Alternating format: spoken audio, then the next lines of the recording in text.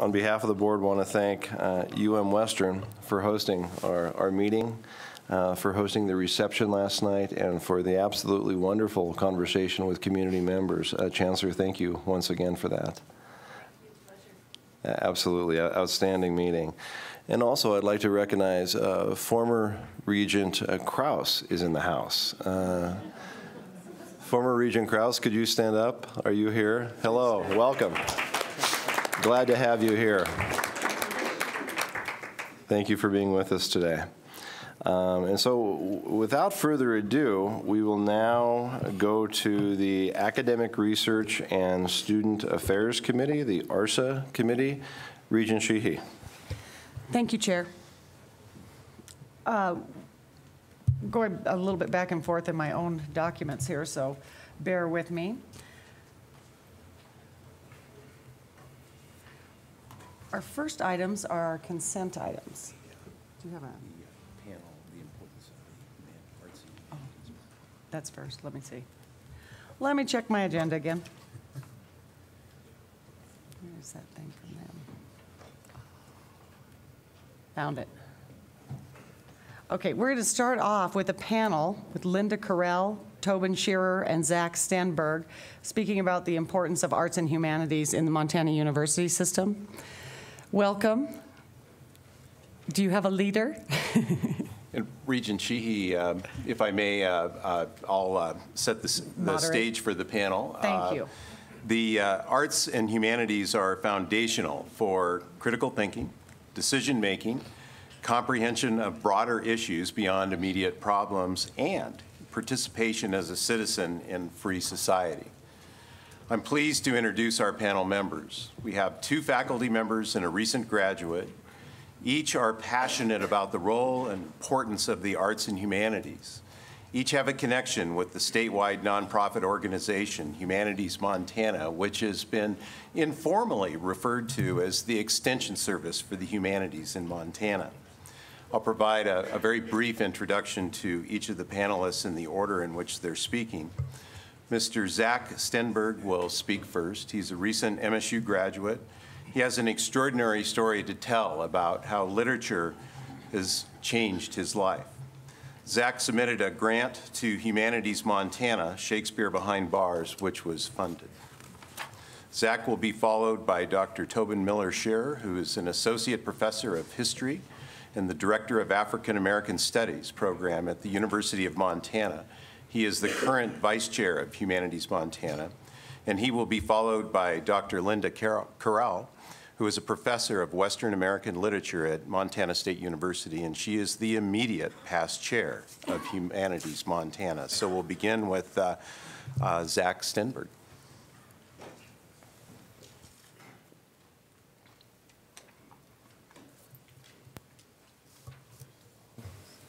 Is it on? Oh, good morning.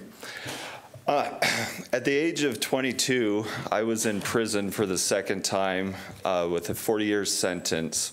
I was told that I was doing life on the installment plan by the Department of Corrections, and I didn't have a very good attitude myself. I assumed the role of robber and resolved to playing cops and robbers for the duration of my life. Rather than simply lifting weights and gambling and watching wrestling on TV, for some reason, something inside of me inspired me to read. I'd heard that knowledge is power. I didn't buy the cliche up until then, and I only knew violence is power or control. I picked up Grapes of Wrath at the High Side Library because I didn't finish it in high school, and I didn't finish high school either. I read every other Steinbeck that the library had and continued pursuing the small little section titled Classics. After a couple years of incarceration, I tackled War and Peace and felt emotion for the first time in a very, very long time. Thus was the birth of me converting to a hopeless romantic in the dream of finding a Natasha someday. But I also felt empathy and emotion and accepted myself to feel those emotions. I made the choices that landed me in prison and growing up in institutions since the age of 14, I knew only too well where they would lead me. But I didn't care because I didn't really care if I lived or die. Revenge was also fueling my will to live for the first couple of years of my incarceration. Two men that I thought were my friends betrayed me and made statements against me to authorities. I didn't know how or when, but I knew that someday I wanted to get even.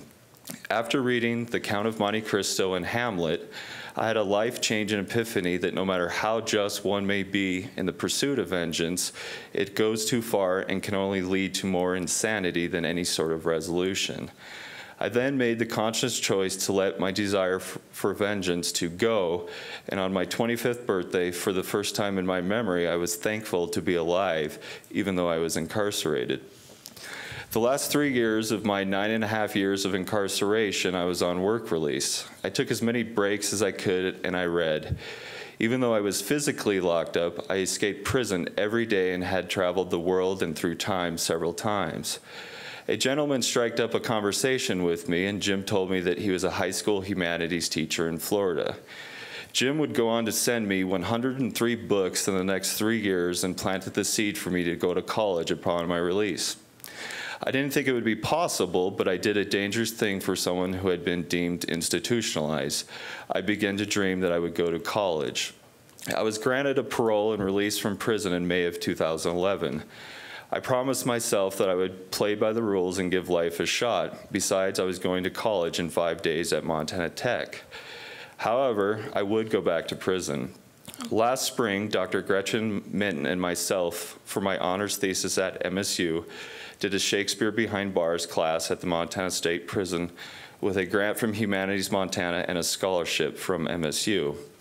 It was hard for me to go back, but the rewards of teaching at the prison have been more than worth dealing with correctional officers again and seeing how classical literature is enriching lives now. Next Friday, I will have finished a third class at the prison and have plans for another one to start in May on rhetoric. While a visit at MSU, E.O. Wilson said something to the effect that humanities nourish our souls. Literature doesn't simply nourish my soul, but it makes me want to be a better man. In my opinion, we, opinion, we simply read great books to become better people, and I know firsthand the power for change that literature, literature possesses. It becomes daunting and downright terrifying to think where I would be in life had I not gravitated toward the prison's library and specifically the classic section.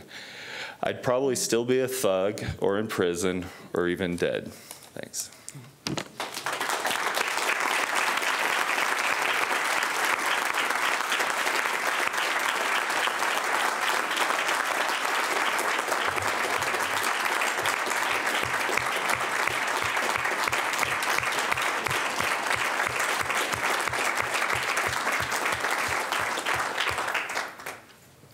Thanks, Zach. That was really powerful. And thank you for having us uh, spend time with you this morning. To prepare my comments, I asked a dozen students to reflect on what they have gained from the humanities. Most responded as I thought they would. They pointed to critical thinking skills, writing prowess, essential knowledge. Reagan Collier, a journalism student, noted that humanities courses gave her the tools to draw deeper, more complex connections within and between subjects. Johnny Barber, a history graduate student, added that humanities courses have taught me the origins of the problems and conflicts arising in our culture, an insight that guides me in my decisions to personally contribute to a better future. That much I expected. When I teach a class on voodoo and Islam, lead students into an exploration of the political implications of the hip hop movement, or facilitate informed discussion of urban unrest in Ferguson and Baltimore. These are exactly the skills I seek to instill. Whether in history, English literature, philosophy, liberal studies, modern and classical languages, or any of the related disciplines, my humanities colleagues and I invest our best energy into forming students who know how to articulate probing questions, structure convincing evidence based arguments, ponder enduring questions, act as informed world citizens, and write and speak with eloquence and insight. But I also received another set of responses that I did not expect. Guy Hansen is a friend of mine, a local business owner in Missoula, Missoula and a member of the National Board of Directors at Farmers Insurance. In a recent conversation, he pointed out a new trend in business hiring. Employers are looking for workers with strong empathy skills. Articles in Forbes magazine back up Guy's assertion. Businesses have recognized that smarts and technical training can only get them so far. As Forbes reporter Jason Boyers asserts, the ability to connect with and relate to others, empathy in its purest form, is the force that moves businesses forward. I then noticed with great interest when several students informed me that the study of the humanities had made them more empathic. First year's honor student Ronan Kennedy wrote that the humanities gave him insight into the concepts of empathy and sympathy. Tony Aiello, a political science student with eyes on law school, said that taking humanities classes helped him learn to see from others' points of view by giving him the patience to listen, read, and process new information before speaking. History and African American Studies student Morgan Curtin stated simply that the humanities taught her to be a better and more understanding human being. These are not just human values that we impart to our humanities students, they are marketable skills. Not only are businesses clamoring for the skill sets that our humanities students possess, but our country is in need of empathic citizens who can engage in civilized, informed, and nuanced debate about the big questions that matter to us all. I was perhaps most enthused by a response I received from a student who last semester took my course called Black From Africa to Hip Hop. A media arts film major hailing from Helena, Montana, his name is Brian Rappaport, and I'll simply close with what Brian wrote. In my humanities classes, I have received cogent pedagogy that has shifted my perspective on the world. It has broadened my vocabulary. I have encountered I have encountered oratorical elegance and philosophical profundity that has inspired me and other students to reach for greater heights and provided us with a multitude of new lenses to look through. What I've gained from taking courses in the humanities has left me with the feeling that I have actually received a real higher education. I will be graduating spring 2016, and I truly could not feel more equipped with the essential knowledge needed to make the world a better place. Thank you.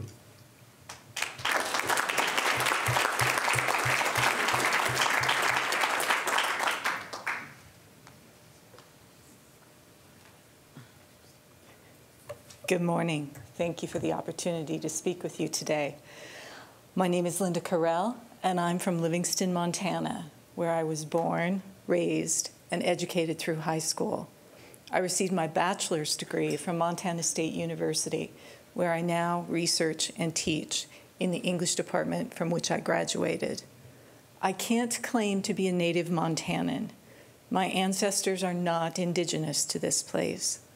Instead, they came from England, Sweden, Germany, and Romania. And they came to the United States, and then to the West, and then to Montana, three, four, or five generations ago to farm, to ranch, to find more opportunities than existed for them in the countries they left.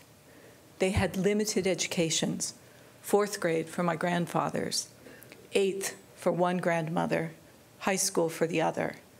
I am a first generation college student. And yet, growing up, my house was filled with books. And my mother drove me to Billings to see my first ballet when I was 10. There was, in other words, a deep longing on the part of my family to introduce me to the arts and humanities, even when they seemed to have little, perhaps almost nothing, to do with the labor intensive and working class realities of my life. As critically, there was also a social and cultural valuing of the arts and humanities that made them implicitly important in my family's view. And it was the arts and humanities that saved my life in all of the ways that came to matter about how a life can be saved. Livingston is struggling right now, as is Montana as a state, with an extraordinarily high and frightening suicide rate. And one of the young high school students who killed himself recently was a member of my family.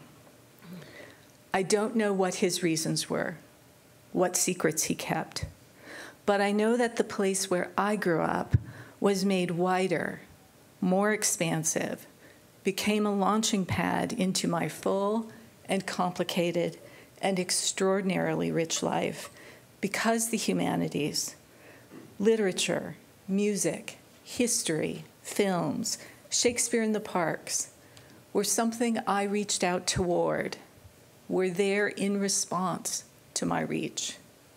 They gave me a language to think in, a way to reflect, a mechanism for asking questions about my world when to do so was both frightening and necessary. What I want to say is this the arts and humanities are not luxuries. If we are to continue to move toward lives worth living in the largest sense, the arts and humanities are what help us understand what those lives entail, what they look like, what pleasures and responsibilities and obligations to others those lives incur. Specifically, the arts and humanities are not luxuries from the mistaken perception that only what is mathematically quantifiable or objectively measurable is either valuable or, frankly, employable. To write is to make an argument, whether it is a political speech or a novel or an employee performance review in a tech company. To write well requires thinking clearly, and it is hard to do. And it is as necessary for that tech company, for that medical staff, for that small business owner negotiating with a vendor as it is for the novelist. When employees hire humanities majors, and they do hire humanities majors. My university president, Dr. Waded Cruzado, has three degrees in the humanities.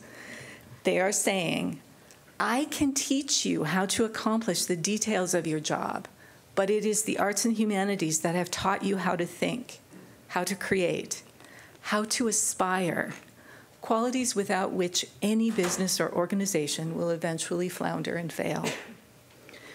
But in the largest sense, the arts and humanities are necessities, not luxuries, because they remind us that we are not alone. Alone, not alone in our self doubt, our despair, our hopes for ourselves and our children and our nation. Jim Leach, a 30 year Republican congressman and chair of the Endowment for the Humanities from 2009 to 2013, said that, quote, the arts and humanities are vastly more important in troubled times, end quote. Times are always troubled, to be sure, but I would suggest that times are getting more and more troubled as our civil discourse grows more rancorous and our debates more isolating. Isolation, whether physical or emotional, whether as an individual or a state or a nation, is deadening. And there is nothing in the human condition that literature hasn't addressed. No emotions that music does not explore. No conflicts about what it is to be human that the arts and humanities don't help us understand. With the arts and humanities, we are never alone, and we are very often together. All of recorded human creativity awaits us to keep us company, to see us through, to avail itself of our reach toward it. Thank you.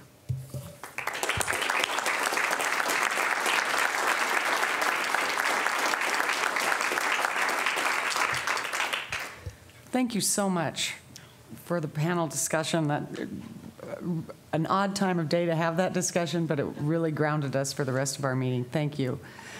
Do we have any comments about the discussion we've had thus far? Chair Tuss. I'm not sure if this is a comment or a question or something in between, but when I was preparing for this meeting last week, I happened to be having a conversation with a um, environmental scientist um, from Missoula, a good friend of mine. And he said, you know, we, we dig dirt, we analyze what's in that dirt, we see if there are environmental pollutants in the dirt, we clean it up. Um, it's very physical. He said, uh, but every single time he has an opportunity to hire somebody for his company, he wants somebody from the liberal arts. He wants somebody who knows how to communicate. He wants somebody with his firm that knows how to interact appropriately with other individuals and with broader society. So um, thank you for this presentation. Um, it, it matters not just to those of us from, from the liberal arts, but I think for everybody. Uh, outstanding presentation. Thank you. Regent Hohman. You can call me Asa. Uh, I actually prefer it. Me too. Thank all three of you for uh, coming in and, and sharing your stories and your thoughts. I want to just say that I couldn't agree with you more about employability in um, the humanities and liberal arts. I would challenge anybody who thinks that the humanities don't make leaders um, to look at the student governance that we have across the state. Over there are a bunch of bright young students um, that are student leaders from all over the state, and a vast majority of them, although not all of them, are studying the humanities. Over there you have 12 students from the University of Montana and from all the other universities. And from the University of Montana, every one of those students, save maybe two, are humanities students.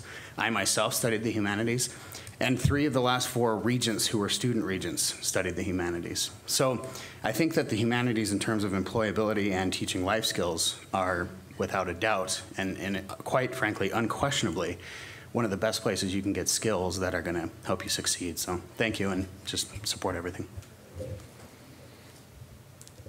President Engstrom. Thank you, Madam Chair, members of the board. Um, I certainly can't speak any more eloquently than the three of you did. That was a powerful presentation. I just want to say thank you. We know that this is an important Montana discussion. It's an important national discussion. And so I'm so grateful to have folks like you who will um, articulate so clearly the value of the humanities, the liberal arts. And I'm, I'm energized by your uh, presentation and, and uh, together want to rededicate all of us to the, to the study of the humanities. So thank you very much for being here. Any other comments? Regent Johnstone. Bill. Thank you, Martha. Um, Martha and I are going to change the, the way we talk in this the room. But, um, I, first of all, thank you. Extraordinarily eloquent. Um, I, I, am a graduate of Montana State University as, in humanities uh, after uh, trying chemical engineering. Um, and um, I've been able to get jobs. Um,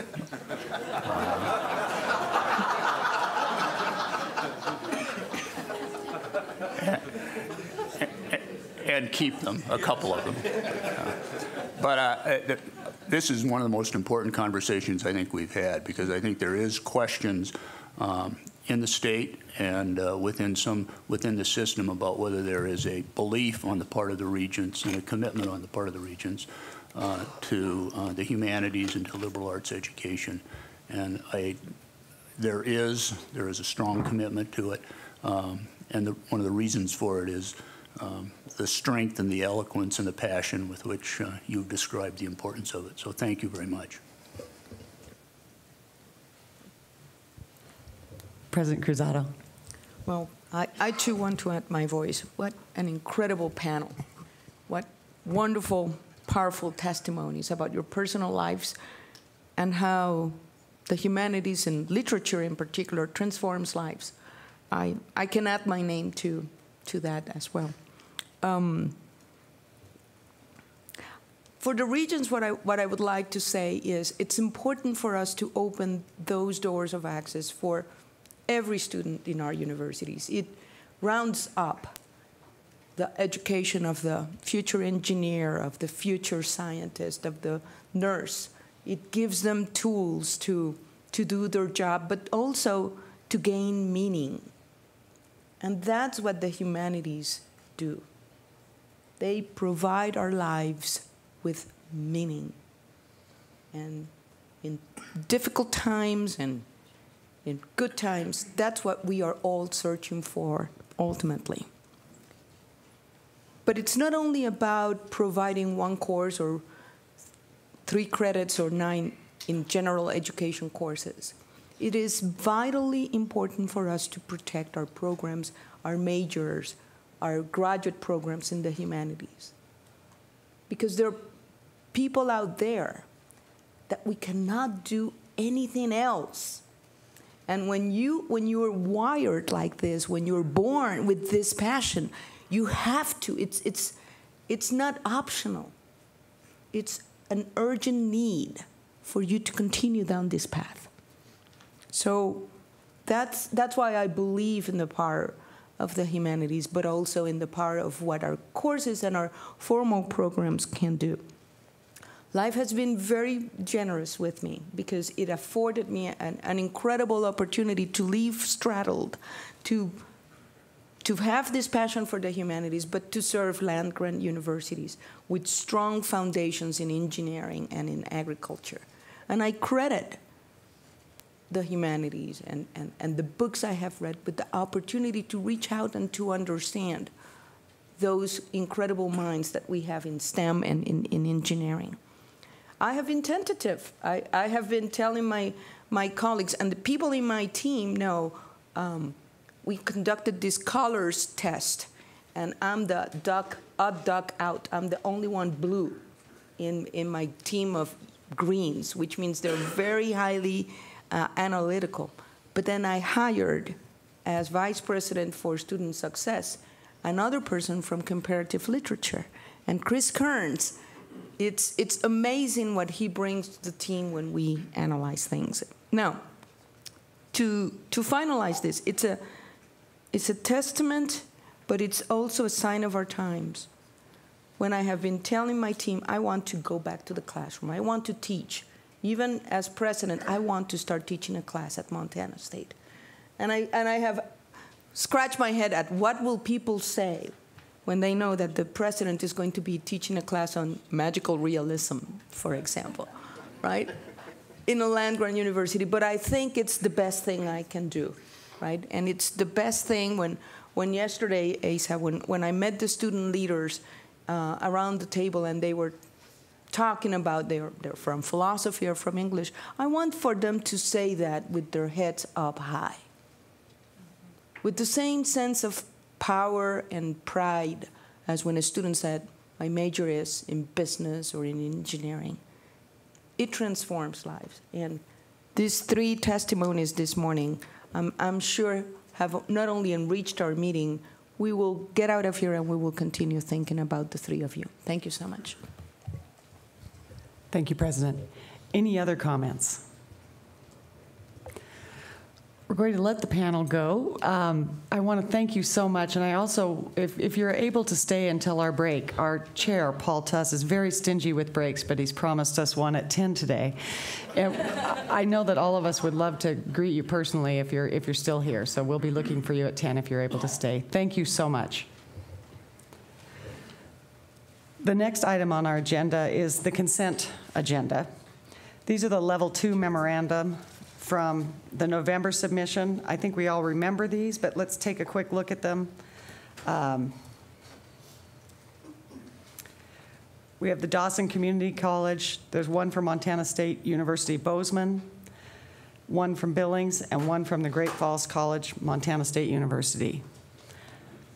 Does anybody have any uh, reason to take these off the consent agenda? Those will remain on the consent agenda. We'll still vote on them later, right? Yeah, we'll vote on those at the action items later. Next item on the agenda, let's get back to that, is our action items. The first four items are honorary doctorates. Um, These all have a separate item in our agenda, but uh, we don't reveal the names of the people who are receiving honorary doctorates. So unless there's any objection, I'm going to treat these as a group and ask if anybody has any comments about the four authorizations to the various entities to have uh, honorary, the authority to issue the honorary doctorates. Would you like to speak to those presidents or just obtain the authorization? Madam Chair, I think we are both prepared to speak to the Great. individuals and would like to do so. uh, Great. In public, um, so, All right. in- including their identities, if that Oh. is okay with all of you. We'd We like just- to hear. There's been some confusion about our process here, but I think that's what we would like to do in our. Great. Then let's take them one by one, and let's start with previously unknown item A. Soon to be known. Thank you, Madam Chair, members of the board. Uh, I am so pleased to bring forward to you uh, the nomination of two individuals for the degree honorary doctorate uh, at the University of Montana. And it's our intention to present these degrees to these individuals at May commencement upon your approval.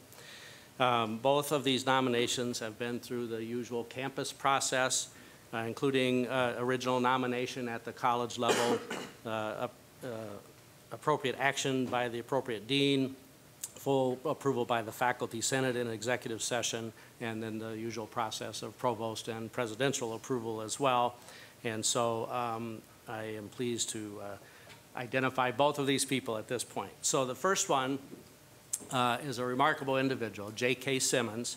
Uh, He's a graduate of the University of Montana uh, with an undergraduate degree in music and has pursued a career in acting. You may recognize J.K. uh, as the winner of the 2015 Academy Award for Best Supporting Actor for his role in the movie Whiplash, in which he played an obsessive high school band instructor. Uh, So different than his real personality, a remarkable job of acting. Uh, He has a long list of movie and television credits to his name, including the hits Juno, Spider-Man, Law and Order, The Closer, and many others. He's a prominent television lead in the commercials for Farmers Insurance, so you may see him uh, in those commercials. Uh, dun, dun, dun, dun, dun, dun, dun. How are they in those commercials? Could you do that again, President? But when we start our uh, system band that we talked about the other day, uh, we might do that again. Uh, JK has brought tremendous visibility and distinction to the university, and he credits the university in large measure for his success. He and his siblings have established scholarships in the name of, in the name of their parents. JK returns to campus frequently, and he loves interacting with our students uh, on those occasions of presenting those scholarships. So again, upon your approval, I, well, I have already invited JK to be our commencement speaker uh, in May. And so uh, he will deliver just a remarkable address. And just on a personal note, I've come to know JK now over these last several years. What a remarkable individual, what a humble individual. My first interaction with JK, we met in uh, Los Angeles, uh, and we agreed to meet at a coffee shop. And here this, this world-famous actor comes walking down the sidewalk in his jeans and his sweatshirt, a Grizz sweatshirt, by the way. And we, we sat down uh, in, uh, and had coffee, and just a remarkable individual. When he got one of his awards on uh, TV, there was a UM hat on, and you may recall his message when he received the Academy Award. His main message was, go home and call your mom and dad. And that was such a powerful message because he had just recently lost both of his parents in the, approximately the year before. So with your approval, uh, we will award J.K. Simmons with an honorary doctorate. Our second nominee is a man named Jack Ward Thomas. Uh, Jack uh, has had a distinguished career in forestry, culminating in his appointment by President Clinton as the chief of the National Forest Service. Upon retiring from the National Forest Service, Dr. Thomas came to the University of Montana to fill our Boone and Crockett Endowed Chair in Wildlife Conservation. In that position, he brought to our students and to his faculty colleagues the experience of a lifetime veteran of national policy and practice in the field of forestry. He stayed with us in that role for 10 years and then retired to Florence, Montana, where he lives today. Uh, Dr. Thomas was a prolific scholar, accumulating over 600 publications uh, throughout his career. He's widely decorated with numerous awards and recognitions, and he is a remarkable individual who has brought distinction to the university and to himself. His degrees are from institutions other than the University of Montana, including his PhD from the University of Massachusetts. And so he was nominated through the College of Forestry and Conservation.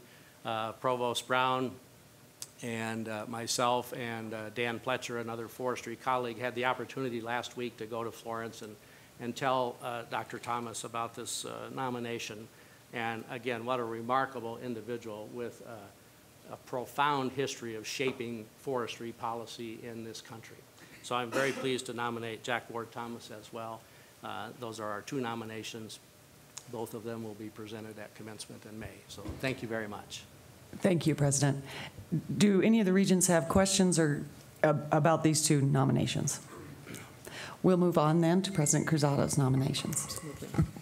Thank you very much, um, Madam Chair, uh, members of the, of the board, to allow me an opportunity to share with you two extraordinary individuals who have been chosen by our Faculty Senate to receive the highest distinction that the Montana University system uh, confers upon individuals who have made outstanding contributions to society.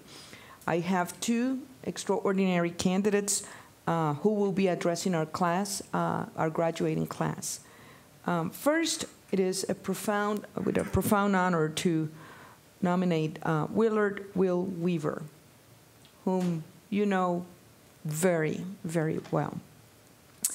Many of you perhaps don't know that uh, in spite of his strong ties to Montana and to Montana State University in particular, actually we lured um, Will from Pennsylvania to Montana State University on a football uh, scholarship. And he played for the Bobcats uh, from 1960 to 1964. And immediately he gave signs of being a persistent and, and visionary leader as a student athlete, but then an entire life devoted to education. Upon graduating, Will began his education career as a high school teacher of business in three public school districts in Montana before starting his exemplary career in education leadership that changed the nature of career, vocational, and alternative education and joint apprenticeship for the state of Montana. Actually, many of the topics that we have been considering yesterday in regards to dual enrollment, to the importance of two-year education, Will was a pioneer in the state of Montana. He's a respective, uh, respected leader in the administrative transition of the state's K-12 vocational technical centers to the Office of Higher Education. For years, we still called our COTs VOTEX, and then afterwards, we moved from COTs to the current nom nomenclature that we have today. During his 16 years of leading what now has, uh, is known as Great Falls College MSU, enrollments increased exponentially. Program and class offerings grew with expanded hours of operation, and training was provided to more than 30 companies annually and to more than 1,500 people. One thing that was absolutely essential um, was that Will identified a need in Montana State University Bozeman for some two-year programs. And that was the origin of two-year programs being offered by Great Falls in our Bozeman campus. That situation persisted until 2010 when the board finally approved the birth of Gallatin College uh, at MSU. And I, am so proud to say that in that project, we worked hand in hand with Will and with our colleagues from uh, Great Falls College, MSU. I could go on and on and talk about the incredible list of distinctions that Will and his wife Nancy have garnered over, over the years. If you have met him, you know exactly what I'm talking about, uh, about the incredible quality of individuals that we're talking. And that's why, in recognition of that, in 2009, Great Falls College MSU uh, recognized the Weavers for their ongoing commitment to the college by renaming the library of Weaver Library. Um, it is a privilege and an honor to recommend Will Weaver, one of the nicest, kindest, gentle leaders that you will ever um, recognize at Montana, in, in the Montana University system. The second candidate, it's also an incredible story. Jean B. Sweeney. We're recommending Jean for an honorary doctorate in science and engineering. Uh, Jean Sweeney is a native of Billings, Montana, and she graduated from Montana State University in 1976 with a bachelor's degree in chemical engineering. Let me put this in context for you. In 1970, when Jean was starting her studies at MSU, 350,000 women in the US received a bachelor's degree, but only 337 women received a degree in any field of engineering. Talk about being um, a pioneer. Um, Jean accepted a position at 3M in 1977, just one year after graduated from MSU. And her passion and commitment to high quality work was observed immediately by her colleagues there as she completed her first job, manufacturing the reflective paint used to make traffic signs, an invention that is an integral part of the road safety standards we have today. 3M quickly recognized Jean's talents and work ethic and promoted her rapidly in the growing company. Actually, she occupied several positions, and in 2008, she became one of the vice presidents of 3M, one of only seven vice presidents of, of 3M. In that position, Jean is responsible for um, over 90,000 employees and in the areas of safety, health, and sustainability. Um, about, about 15 years ago, under a new leadership, 3M made a, a, a decision of only recruiting graduates from 10, 15 universities. And Montana State University at that moment had been providing great graduates to 3M, and that uh, situation stopped. But it never was removed from Jean's um, head and heart that that situation needed to be corrected. So actually, four years ago, when new leadership was at 3M, uh, Jean invited uh, us and a group of people from the Alumni uh, Foundation, and we went to, through, to 3M. We met with a few employees that we had still, and we met with the Human Resources Department. And thanks to Jean's passion about Montana State, we are, we are, they are now recruiting extraordinary Bobcat engineers back to 3M. That's the kind of individual that, that Jean is. She's always available for Montana State. You can imagine what a powerful role model she is. She makes herself available every February when we celebrate um, Engineers Month.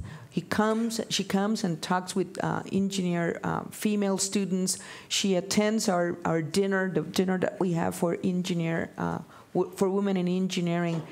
And she is an incredible um, spectacular engineer, but also a, a, wonderful, powerful role model. So, in addition to that, Jean has been very, very involved with our foundation. And actually, as I speak with you, she serves as chair of the board of the uh, Montana State University Alumni Foundation. It is truly an honor, honor and a pleasure for me to recommend Jean Sweeney. Thank you, President. Do any of the regents have any questions about authorizing MSU to award these honorary doctorates? We'll move those to the voting part. Our next item on the agenda, switching back and forth, is item E, the mission statement review. John, could you speak to that? Chair Sheehy, members of the board, absolutely. Great Falls College, MSU, presented their mission and vision statement last September to this board. Excuse me. Following that presentation, the commissioner asked Dean Wolff uh, to work with her campus to add some language um, that really connects the alignment of the mission and vision statement with the comprehensive two-year mission of Great Falls College, MSU. And uh, Dean Wolff did that. Uh, it reads very, very well, and uh, it's here before you today. Thank you, Deputy Commissioner Sack. Um, I, I, think we've heard quite a bit about this and seen the statement. Unless anybody has any questions for Dean Wolff, does anyone have any questions for um, Deputy Commissioner Sack? Any questions about this? Chair Tuss. Uh, thank you. I would just like to thank Dean Wolff um, for going back to the drawing board. Um, I think that the document in front of us, um, to be candid, is is better than what we saw before, and I know that um, it takes a lot of folks. Um, there you are. It takes a lot of folks to get this done. So please uh, tell your team back in Great Falls uh, kudos for doing this. Thank you. Agreed. Any other comments? Seeing none, we'll move on to action item F. We're going to do something a little different here. In addition to the action item, we're going to move up the informational item involving the policy review um, Since these are the, the action items implement the discussion that we're going to have in this information item. So uh, Elizabeth Turnes will speak about this. Chair Sheehy, members of the board, I'll, I'll provide a brief introduction while Elizabeth is working her way up to the podium. But beginning back uh, in the summer and in September, uh, Elizabeth and I uh, began having conversations with the two provosts and the chief academic officers of the system to, to really uh, roll up our sleeves and take a look at the academic planning um, and proposal process, approval process, and, and what, asking the question, what can we do to improve the process? Uh, the primary goal is to increase system-wide communication about new programs or centers or institutes or campus reorganizations. But we're also looking for ways and strategies to encourage campuses to collaborate with each other um, where and whenever possible uh, earlier in the process and we uh, wanted to improve campus and public awareness of uh, the campus's three-year plans, and as well as uh, implement a uh, something new that's a little bit different. That's an intent to plan process. Um, and then uh, finally, you'll hear about some efficiencies about the level one approval process, which Elizabeth will talk with. So Elizabeth has done a magnificent job of, of really helping to pull all of this together, and I'll turn it over to her for her uh, PowerPoint presentation. Thank you, Dr. Seck. Good morning, Madam Chair, members of the board. Uh, thank you for allowing these policy revision requests to come before you. And as Chair Sheehy noted, what we'd like um, to do is present information item A to you at this time as it informs those policy requests. So this presentation will seem familiar to many of you. Um, I know most of you have heard it before, so please along the way stop me if you have any questions or concerns or comments to share. Um, as Dr. Seck noted, uh, the goals of this process revision are twofold. We want to be more responsive to the needs of the campuses, to the needs of the public and private sector. And we also want to increase communication throughout the system among the CAOs, um, with OCHE and with the board. So for us, this meant uh, that the first look at a, a new proposal doesn't come um, to the regents, to, the, to OCHE, the deputy commissioner, or to um, the system CAOs as a final product. Um, so, the, so this proposal has been under development for some time now, and it really stemmed from discussions at all levels, uh, from between the, the presidents and the commissioner to the deputy commissioner and the, the provost, and across the system CAOs. So to begin, I would like to refresh your memory of uh, the two types of items that come before you as academic proposals, and those are level one items and level two items. Under level one items, um, you have two types of approvals, campus approvals and OCHE approvals. And under level two items, uh, those are items that are, are approved by the board. The board does vote on those items. I'll point out just a couple of things and a few changes within these two classifications. Under level one items, campus approvals, you'll notice bullet three, distance or online delivery of an existing degree or certificate program is bolded. That's because this previously was an OCHE approval, and we're proposing that this now move to a campus approval. Um, Additionally, under OCHE approvals, you'll see bullet number two, terminating an existing major, minor, option, or certificate. This has always been an OCHE approval. The board has not voted on these in the past. However, it was a two-step process. There was an intent to terminate process, um, and the, that process was not working uh, as, as it was intended to. And so we're proposing, um, through the guidance of the campuses, that that become a, a one-step process.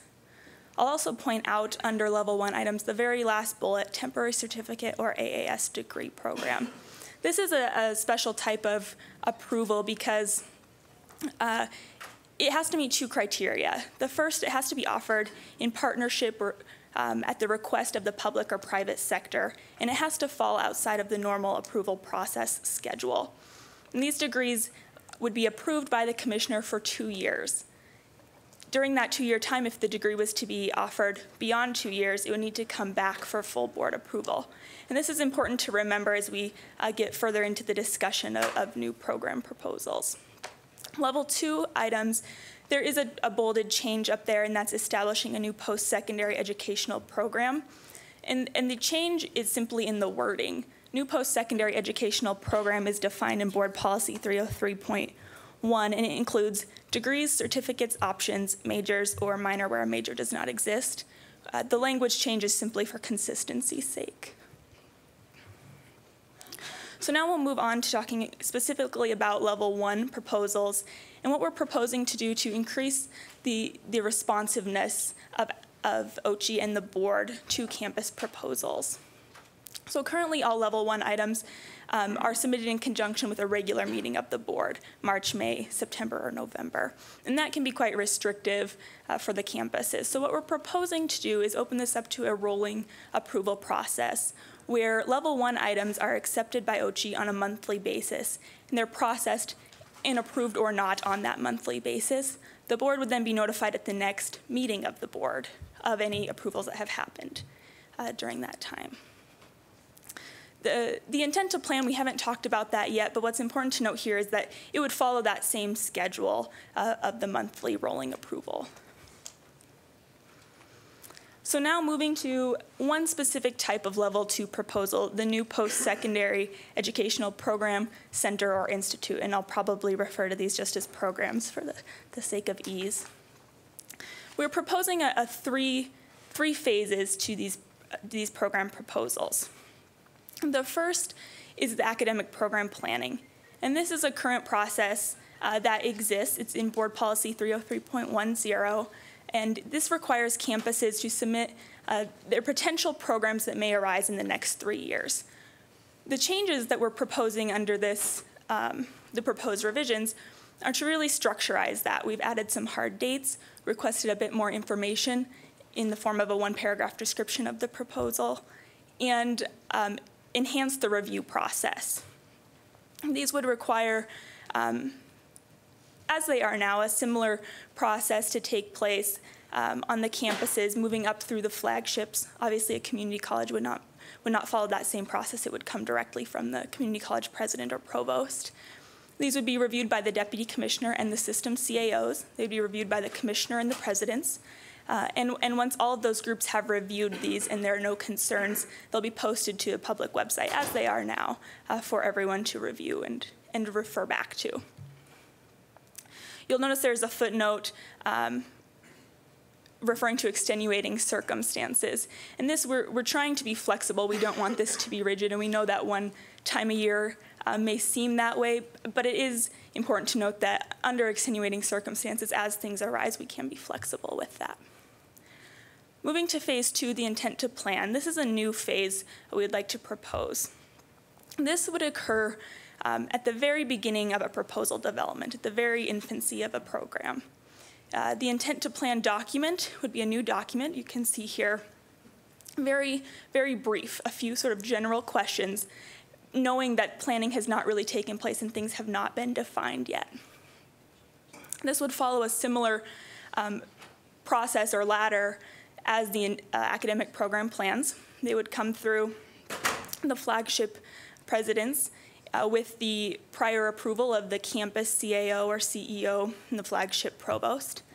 They would come to uh, the deputy commissioner who would review them, share them with the system CAOs for comments. Uh, if, the, uh, if comments arise during that process, the deputy commissioner, much like he does now, would become involved to help work out any issues. Um, if no major issues surface, uh, the campus will essentially continue with the development process. Uh, the uh, intent to plans will be posted to a public website, again, where they'll be left for all to view, and they'll be shared with the board at the next meeting of the board. Um, now, this may seem, adding an additional step may seem contrary to what we want to do to be responsive, as it could seem to slow down the process. But there are two things at play here that we feel uh, will alleviate that. The first is that the intent to plan occurs at the very beginning of a proposal development process. We know uh, new programs are not developed overnight. And the hope is that these won't come uh, to the board at the same time that they need approval or the campus needs to act on the on approving the item. Um, the other is that uh, we have removed a step in this final phase that we feel will actually help speed up the process.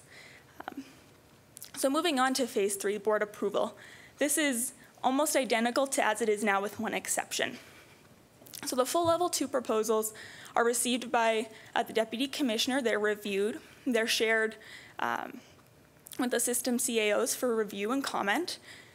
With no major concerns arising, the, the proposals will move on to the ARSA committee call. If, if major concerns arise, the deputy commissioner becomes involved and tries to work those out. Um, at the at the ARSA call, if it's agreed upon that these shall move forward, they'll they'll appear on the board action agenda at the next regular meeting of the board. And here's where the change is.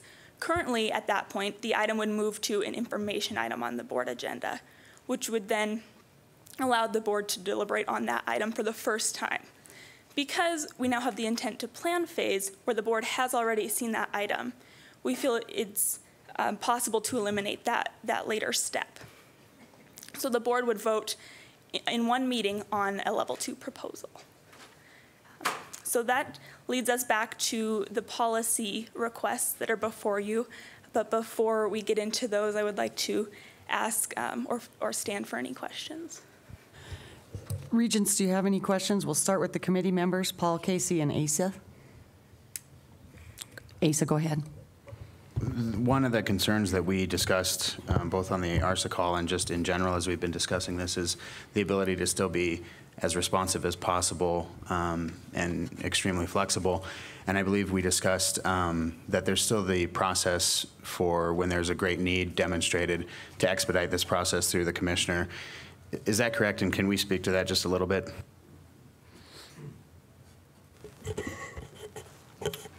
Madam Chair, uh, Regent Hohman, so I, I guess a couple thoughts. Um, one, if, if you roll back the the clock about 18 months, this whole conversation started about how can we be more responsive as a system. I mean, I, I think we want to we want a process that works for us. Right now, we're creating delays between first reading, second reading, that really serve very little value. Where that work could be done ahead of time. Um, the intent to plan, I think, gets things out on the table early. So if there's issues, instead of working them out between the CAO call and the five days before the agenda goes live, which has been sort of a nightmare, to be honest, um, we'll, we'll have some time to do that, and we can provide feedback uh, as a system, as a board, in good conversation. So I, I think overall, uh, change brings sort of that nervousness, but this is all about being more responsive, not less. And my commitment to this board is that is the driver of this conversation. And you know, it's a new process. If we don't have it quite right, we will change this process as we go. But it, it absolutely is about being responsive, um, more responsive to the needs of Montana. It's about being flexible. All those things I think we can accomplish within this. And, and I think we do so because we have the conversation early about where we're headed instead of late. And then we feel kind of pinned in, both from my office as a board. Um, you know, people have worked on this a long time. How, how do we have input? I think it fixes that, and and uh, it, it, I really do believe um, that it will help the process. And if it's not, um, I, I, want the campuses, I want faculty, everyone to know that we'll continue to try to make this right. Um, it it is a new policy. We've worked on it a long time. I think uh, Elizabeth and John with uh, the provosts around the system have done a great job um, bringing this forward. I think we've got it right. If we don't, we'll get it right.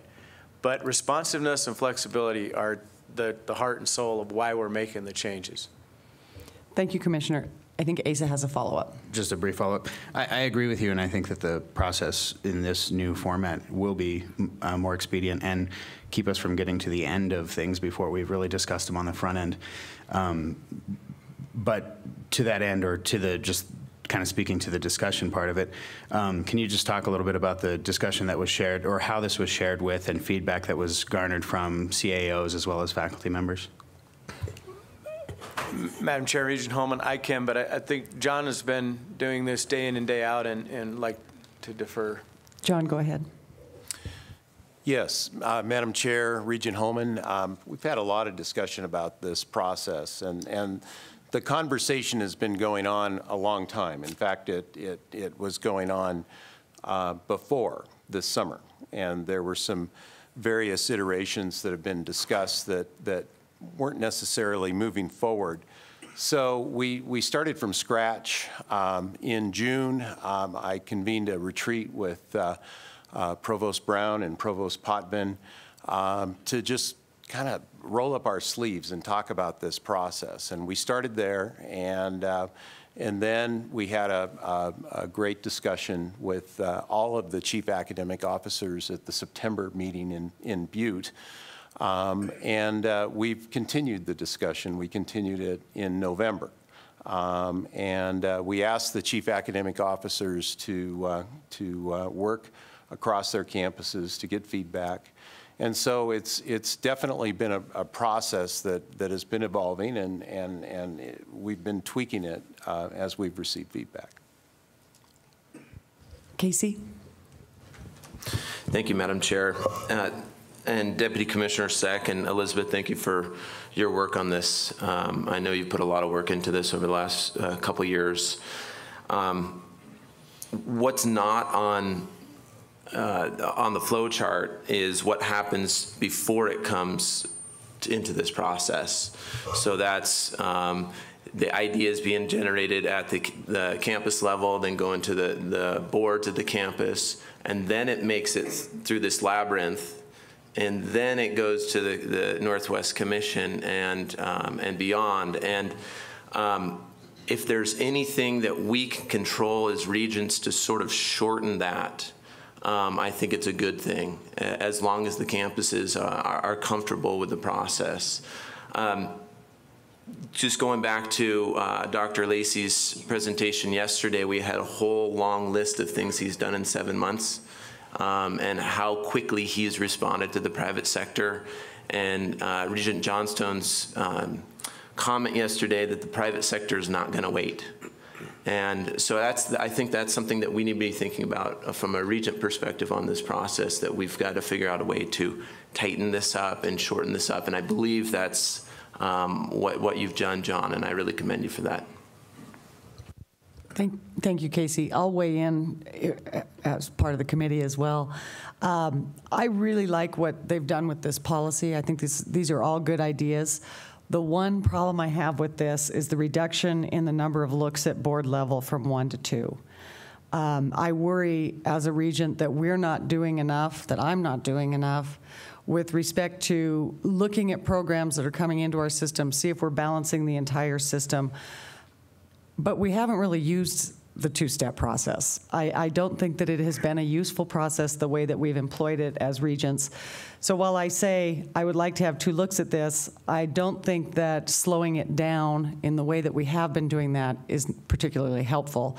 So I'm, I'm I'm in favor of this proposal. I, I want to put you on notice that I'm a little worried about the board um, one step in front of the board. And I caution the board members that in discussions that I've had with John about this prior to the meeting, um, this puts us, that puts the onus on each regent to look at the website and see what's coming up at the beginning of the process. This doesn't deprive us of the opportunity to do this. It simply takes away one reminder, the informational item that we used to get. So we can still do the job that I think we should be doing, but it's on us to really pay attention to that website that's going to say, hey, this university system is planning this and they're planning that. And it's all going to be there for us to review. It's just not going to be reminded. Um, anybody else? Oh, go ahead, Commissioner. Madam Chair, um, if, if I could just touch on that a little bit. So two, and we've talked about this a lot, that, that's a valid concern. And, and I think you point out well, although we haven't really used the second reading in a meaningful way, but it is our, our thought um, and our intent that as we do the intent to plan, those will come to you as a board as information items then. So we will have an information item and a vote. They should be separated by a sufficient amount of time that then the feedback you present at the, the intent to plan step, at that initial information item, can be incorporated into the planning process. And, and so I'm hopeful that it, it will move us in the right direction, one that I think the board ultimately can support much earlier in the process, um, without, you know, dampering any of, of what needs to happen at the campus. Obviously, these are campus proposals that need to come forward, but the board needs input in them. Uh, The board needs to be able to make resource uh, decisions, or at least let the campuses know what is likely their resource decisions um, early on in the process, so we're not doing it later. So it, it is our intent to still have two looks at this, one with the intent to plan as an information item. We even debated, you know, should that be some sort of a affirmative vote? I think the problem with that is then we're sort of saying, well, here it is, we support this before you know more than that one-page sheet of paper. And I think we probably don't want to go there, but um, we, we will bring them in as information items so we get early feedback, and then ultimately, you're right, we'll have one vote on this. We'll need to make sure uh, it's what we want and that we get it right. Thank you. Bob? Thank you. Thank you, Regent Sheehy. There. Um, One of the interesting parts about becoming a region is learning the committee structure and some things like that. And I've been a little surprised that our, com- our committees meet just barely days before our regents meetings. And I'm wondering if there's some value in looking at a way that we can have this information in a committee structure sooner so that as you raise issues, it isn't just three days, four days before we actually convene for our next meeting. Is there some value in the regents having a discussion about about how we might get better communications earlier in the process prior to five days before uh, this meeting comes together each, each, uh, every other month. Bob, I've had that discussion with John as well, and we've tried to speed up our process with this committee, but it is difficult. And John, maybe you can speak to the, the hindrances to us meeting sooner than the Board of Regents.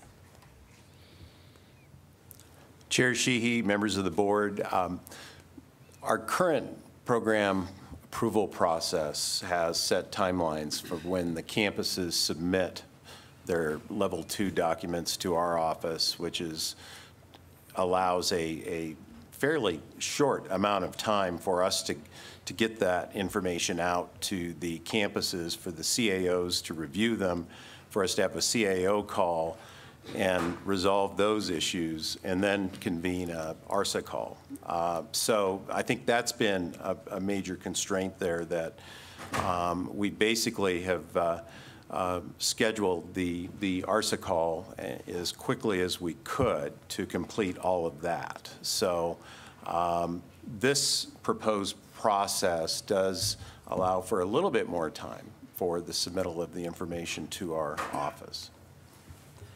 Thanks, John.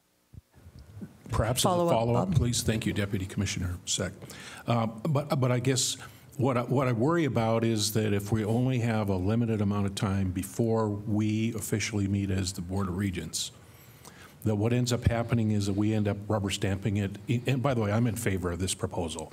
But I, I- but again, I, I, if we're going from two, two looks to one, could you provide us a little bit more lead time so that if there was good commentary coming from, from your committee, uh, Chair Sheehy, for the campuses to react and so forth, so that it's, it's well vetted and it's well defined prior to uh, coming in uh, for a full Regents meeting? First of all, I I think we, I'm understanding this now that we will get that first look on the intent to plan notification. Commissioner?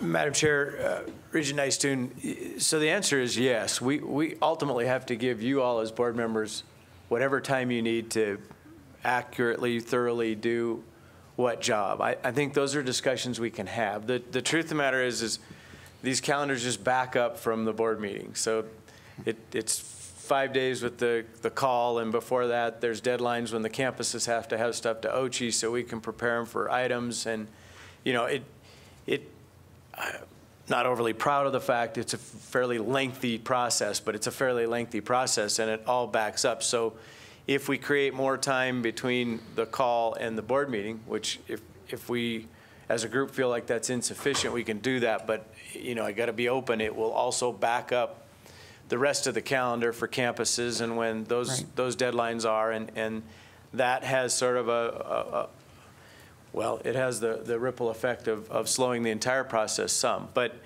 you know, bottom line is, yes, whatever time we need to make sure that you all are comfortable um, doing the job entrusted to you, that's, that's exactly what we'll do. And, and we can work with John and the other CAOs to make sure that, that we feel like we're meeting that obligation.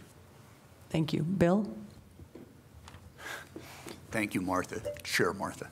Um, I, I had a, a- maybe a couple of questions and, and maybe a couple of observations, I guess. One, it, it was a little confusing to me whether the intent to plan comes before the program proposal.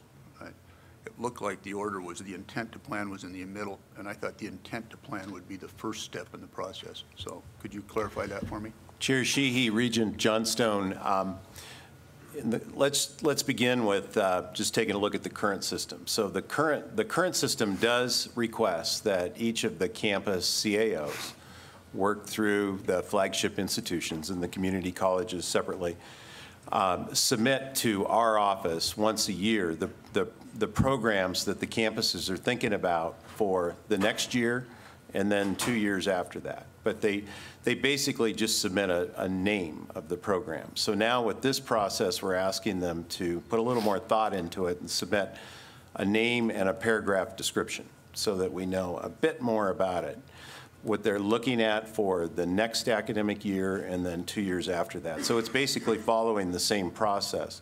The intent to plan then is um, when a campus or their faculty say, okay, we're, we're ready to start planning for program A, and, and, the, and the campus may have five programs on the list, but they're only ready to start planning for one. Then they would go through the process of completing the form. Understood. So my, uh, two observations, I guess. One, where do existing programs, they don't fit into this? Wh- What are we doing relative to the oversight responsibility we have uh, concerning existing programs so that we're going through the, somebody's going through the process of looking at those? I mean, clearly, and it's evidenced by the experience we're having in the system right now, curriculum and program are, are maybe the, one of the most important things that we do in terms of oversight. Um, And if we get it right, things work well, and if we don't, we have issues. So, and uh, I'm interested in that. Um, And then secondly, I guess, an observation, I've been on the board, I don't know, two years, I guess. Uh, But it, a general observation is that I think we spend too much time on minutia and not enough time on important strategy. So if this will drive us to what I think is our more important role, uh, I'm all for it. Uh, But I think that, from my standpoint, that's how I will evaluate this, not so much today up front, but how it works. Is it really influencing uh, the ability of the board to, to look at the important strategic program curriculum issues? And, you know, a lot of what comes before us, I would be entirely comfortable delegating the responsibility for approving and oversight that to the, to the, to the units or to the commissioner's office. What I'm very much interested in is making sure that the things we ought to be looking at, we ought to be providing oversight, get to us, get to us on a timely basis with enough information. And my last observation, I guess, would be, I hope this process will result in information coming to us upon which we can make a decision. And there are good analogies to the private sector and there are bad analogies to the private sector. But um, I would never bring to my board of directors a 150-page document to approve a new business or something else. I'd bring a much more concise document that identifies the important policy issues that the board needs to decide. And again, I hope this process will result in an improvement of that. I, I don't need the same thing that President Cruzado does or, or President Engstrom in their review process. What I need is the key issues and the key information to make the decisions that I should be making uh, as a board member. Thank you, Bill. John, go ahead. Chair Sheehy, Regent Johnstone, I just wanted to add to that. I think uh, on the agenda today, in a few minutes, we'll hear from Dean Wolff, who will speak to the academic prioritization process, which she and her faculty followed at Great Falls College, MSU. And I think that that starts to address some of the issues that you just raised a moment ago. Fran, did you have a comment? Um, So as we seek to um, im- uh, integrate this process in, I'm curious, in looking at other um, programs throughout the country, if this has been successfully employed in this way, this kind of model. Chair Sheehy, uh, Regent Albrecht, uh, that's a very good question. We, we did look at other systems, and, um, and, and that was a challenging task because there are very few systems that look alike. Um, The structures of the systems are different, the scope and authority of uh, the state systems are different, and so we did find some that were similar to us, and we looked at them, South Dakota, Wisconsin, and some others, and, and we found, um, I, I think, I think I can honestly say that what we have before you today is, is uh, uh, probably better than anything we saw out there. And um, uh, one of the states, I won't mention which one, but Elizabeth and I were, were uh, sort of shocked by the level of complexity um, uh, that was involved in their process. Are there any other questions? This is an information item, but it leads us back to our action items. Um, These are items, I think H, I, J, and K. John, it's my understanding, and Elizabeth, that these are, I've read these, I assume everyone else has read their agenda also. These simply implement the program you just described to us and that we've been discussing. Yes, Madam Chair, that's correct. Specifically, um, and it- it is items F through K, there are six pol- academic board Thank you. policies. And um, there are two that specifically would implement this process change. The other four, um, assuming that those two are changed, would then need to be changed for consistency's sake. Uh, So those are policy 303.1 and policy 303.4. Those are the two substantive changes? Yes. Now that we're on to the action items, is there anyone else who has a question or a comment? President Engstrom. Thank you, Madam Chair, members of the board. I just thought you might want a bit of a campus perspective on this proposed policy. Um, And I think it's a very important step forward, and I want to say thanks to John and Elizabeth and the academic officers for working their way through this uh, over the last several months. I think a key word here that this policy helps is collaboration, because it gives the campuses the time to go from really a conceptual idea at the intent to plan stage to a proposal that really does reflect what we all have to offer uh, into a particular proposal and so on. And the current process really is not that conducive to those kinds of collaborative conversations between campuses and so on. So I think this is a very important step forward. I'm glad to see, uh, I'm glad to see us moving in this direction. I think it will actually serve you as regents better too, because it gives you the opportunity, really at the conceptual stage, to say, yes, this looks like a, a good idea, or we have questions, or what have you. Whereas now, like you were saying, you see the full-blown proposal and are expected to act on it in a matter of days, and that doesn't give you time to think about the concept or the collaborations and so on. And then I did want to just uh, address uh, a comment about the Northwest Commission, uh, Regent Lozar, and somebody brought it up yesterday. I'm a commissioner on the Northwest Commission, so I just want to clarify procedurally for you that um, the Northwest Commission handles uh, most of these programmatic changes very, in a very pro forma way. It's a very, very uh, simple process. It's not even done at the meetings. It's done online and so on. The only time when it becomes a major issue for the Northwest Commission is if it appears that an institution is going beyond its stated mission. So if you had, for example, uh, a college that has a mission at the undergraduate level, and you see a change come forward for, say, a PhD program or something like that, that triggers the commission's attention and would probably cause a little bit of, you know, uh, conversation that has to take place.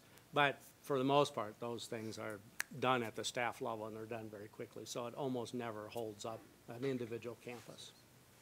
Thank you. Any other questions or comments regarding items F through K?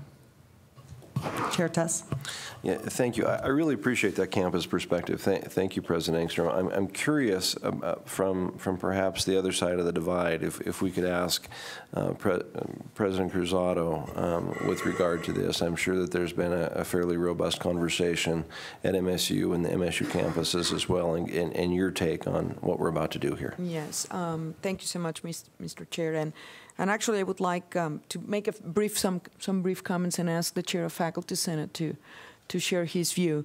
Um, I don't know, I'm, I'm a little bit conflicted on this one because um, what, I, what I have been hearing as we go around the state um, in, our, in our visits with um, communities, breakfasts like the ones that we had this morning, for example, what I have heard from those communities is that they want, would like for us to be more responsive to the, the region, to the communities, to specific business sectors that are waiting for these proposals to be implemented.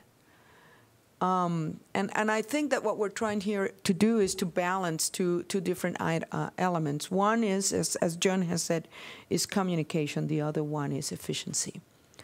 And, um, and I don't know. I, I, I, I'm, I'm asking myself if there are other ways in which we can establish better communications and more trust, perhaps, among campuses and between campuses and the regions, or more interim meetings. Um, I was in a different um, uh, uh, system. I know that uh, Royce Royce was in a different system, which now will reflect this better. I was in a very different system in which the regions had more committee members in, during the interim, and then when they came to the board meetings, it was just for action. And in that sense, they didn't take two days of meetings; they would take half a day of meetings, right? So I don't know. I think I, I think that this is. I- I'm willing to try this. I'm always willing to try things. Um, but I don't know if, if there are other issues that we are trying to correct with it, with a structure. Um, and we have not talked about the issues. Um, for example, in, in, in New Mexico, there were seven different board of regents for seven different public institutions.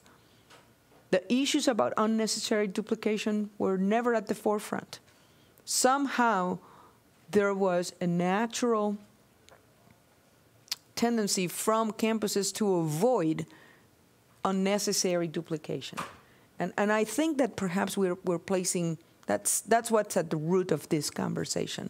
Having said all that, I want to make sure that we come up with a process that's fair to the faculty, with a process that fares to the business uh, and the industry who are waiting for us to make a decision and to implement this um, this program. So, Randy, would you would you like to expand?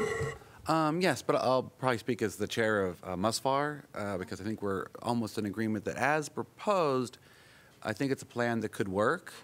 Uh, I guess one concern is that there is enough time um, between the proposal submission and the issues and the, and the final column that the, if there are issues, that it can be worked out that and revisions made to the proposal so that it can be in that same timeline. The item four says if there's no issues, it goes to the next board meeting. But if there's some issues, I hope that it can be worked out and still go to the next board meeting, so that efficiency would be there. Um, So, but otherwise, I think as proposed, uh, we're good with this. Thank you, Dr. Babbitt.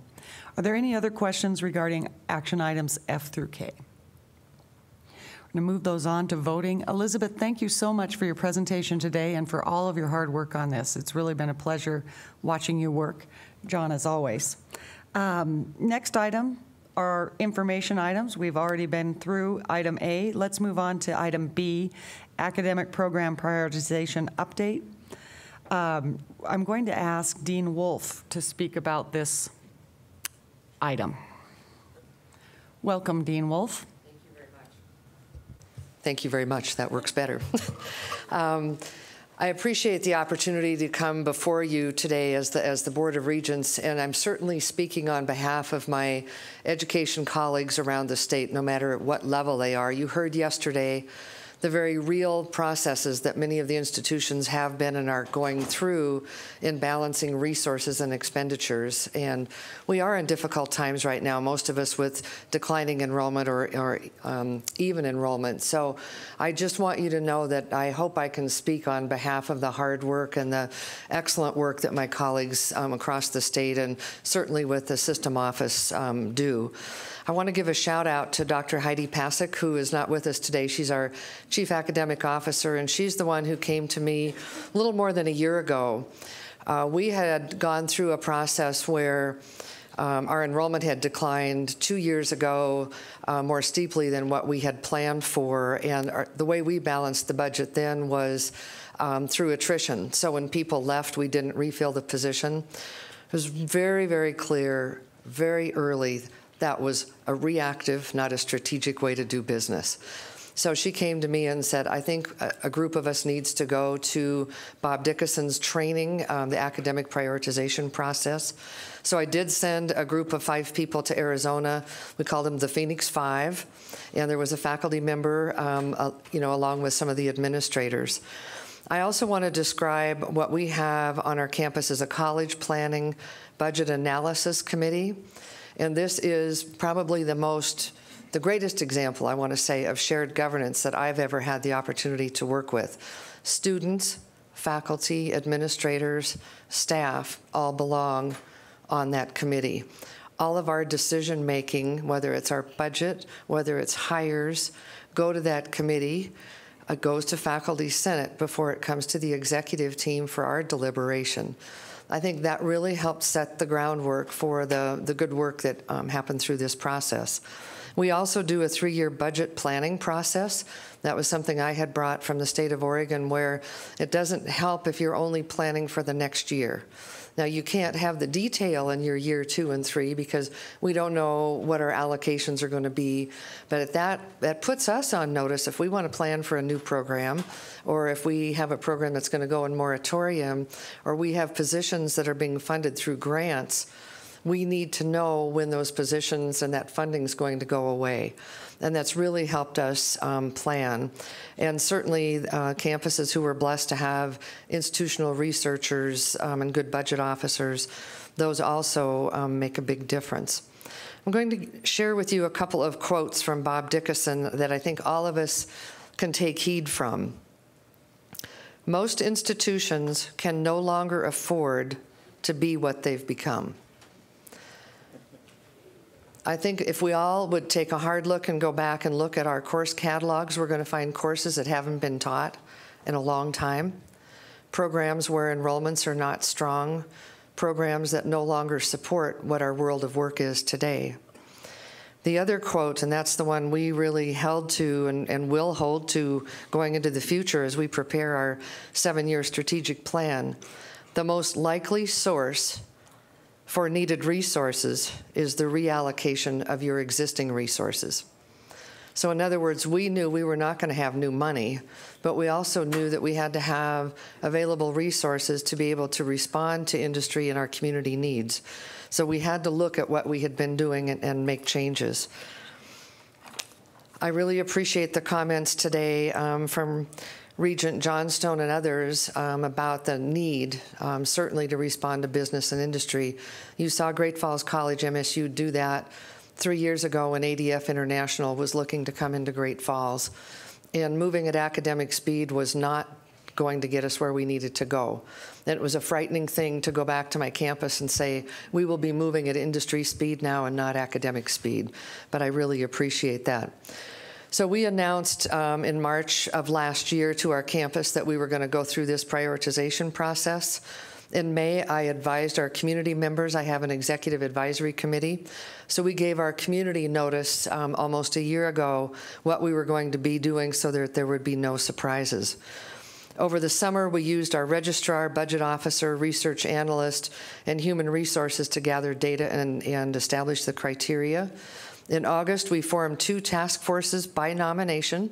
We opened it up to the entire campus, academic and administrative, because every office, every service besides academic program was reviewed, including my own office. So we formed two task forces for those reviewing all of our academic programs. Only faculty members were involved. No administrators served on that task force.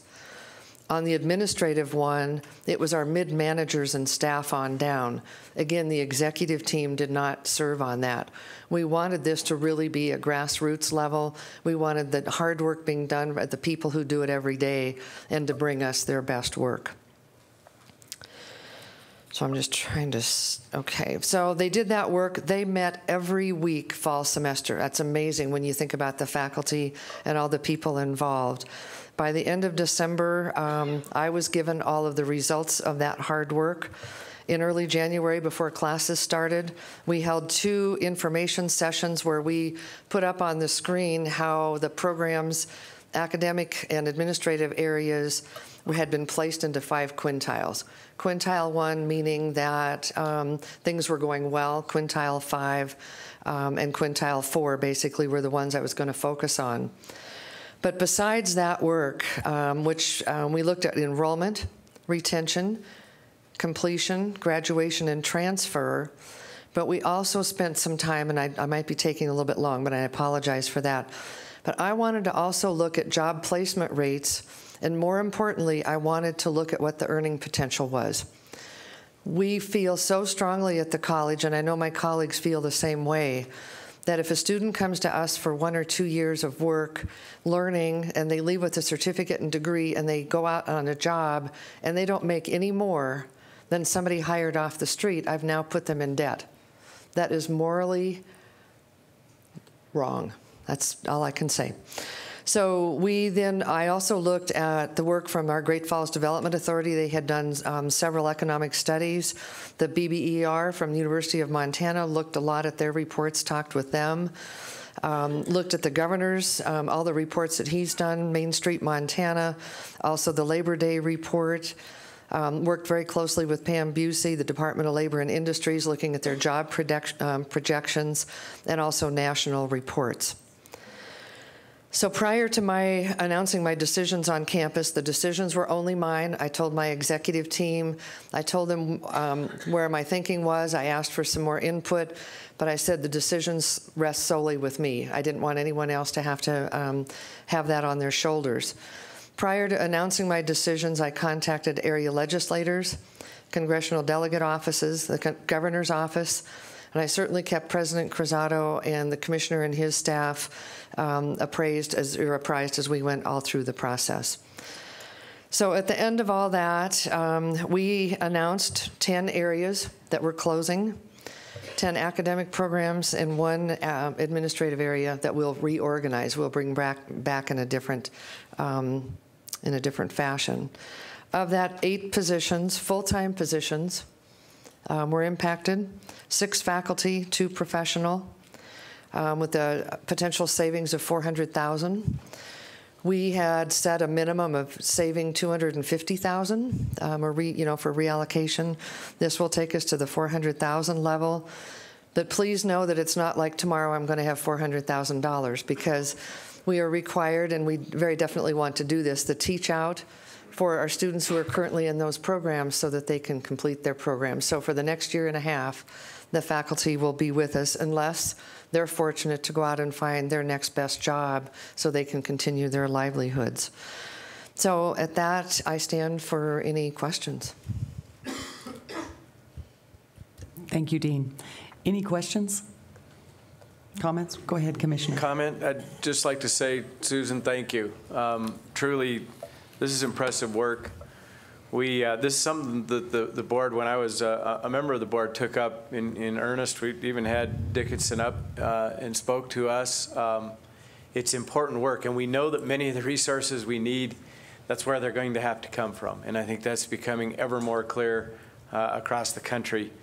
Um, and, and we've had a prioritization sort of requirement from the board for years, um, but speaking of perfunctory, that's, that's what they've been. They've been, in my view, very shallow. They've not accomplished a lot. They kind of checked the box. Um, but this was real. It was a deep dive into what needs to happen on a campus to find those resources, to make sure we're serving the communities in the state of Montana, in the best light that we possibly can. And so I, I truly appreciate the work that you've done here. Um, as Steve Barrett would say, uh, if he was here, that, that was some heavy lifting. and you got it done, and uh, it, it's very impressive. So thank you for your you. leadership.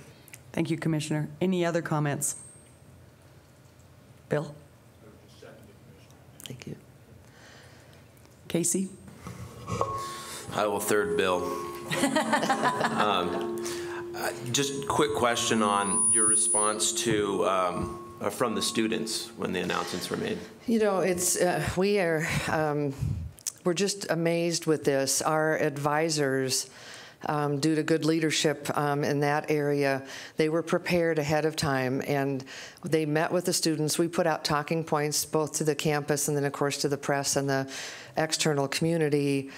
And what they've done is they've, the students have come in and they, they said thank you because if I was headed to a job where I wasn't going to be able to pay off my student debt in a timely way, thank you for helping me make a different decision now.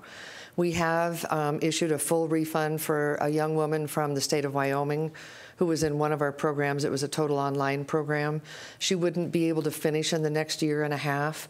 Um, so that was the right thing for us to do was to issue a full refund. So students have um, really have done the, um, you know, taken this really, really well. The faculty, I'm so proud of them. Those people, the people who have been impacted, it was a difficult thing. Um, I went around and met with every one of them to have those conversations. But again, I think they understood we were doing it for the right reason, and the right reason is for our students. We'd had a campaign through our strategic enrollment management process last year, and we started out the fall by asking the question, What have you done today to help a student come back tomorrow? And then I would send out emails to the faculty and the staff and ask that question, and then they would answer, you know, that back. And so that's been a real um, thing for us to do. And the other um, kind of tagline we had on with that is, "It takes all of us. It takes the custodian. It takes the person answering every phone to make a difference for our student." And right now, I'm so excited. Leanne Frost is with us. She presented yesterday. She's being um, quite the leader. We're going to have learning communities for our gen ed students starting fall. It's going to be a modified block system. It's going to be eight weeks. So exciting um, for that. And she was talking to me last night about our Math Pathways project, which is going to help move our Dev Ed math students and, our, and all of our math students through more quickly. So we, we didn't stop. I mean, we made the hard you know, decisions, announcements, and we're just moving forward. Thank you. Any other comments? Chair Tuss. I just want to join the thank you chorus. Um, th- th- This is a lot of heavy lifting, as the commissioner talked about, but it's, I think, precisely what Montana residents expect from higher education when it comes to efficiency and effectiveness. So thank you. Yeah, I, I remind everybody on my campus that our taxpayers pay our salary, and our taxpayers expect this of us. So, thank you. If there are no other questions, oh, Bob. Thank you. Thank you, uh, Madam Chair. So, Mr. Commissioner, is this uh, kind of a best practice, a template that will be used elsewhere within the Montana University system? Madam Chair, Regent Sheehy, I certainly believe it is, and that is uh, part of uh, why we've asked Dr. Wolff to be here and, and share this success story. Um, I think it's absolutely something that that we need to broaden across the system. It, it, it is working for them, and, and there's other campuses that absolutely need a, a process, either this process or one very similar to it.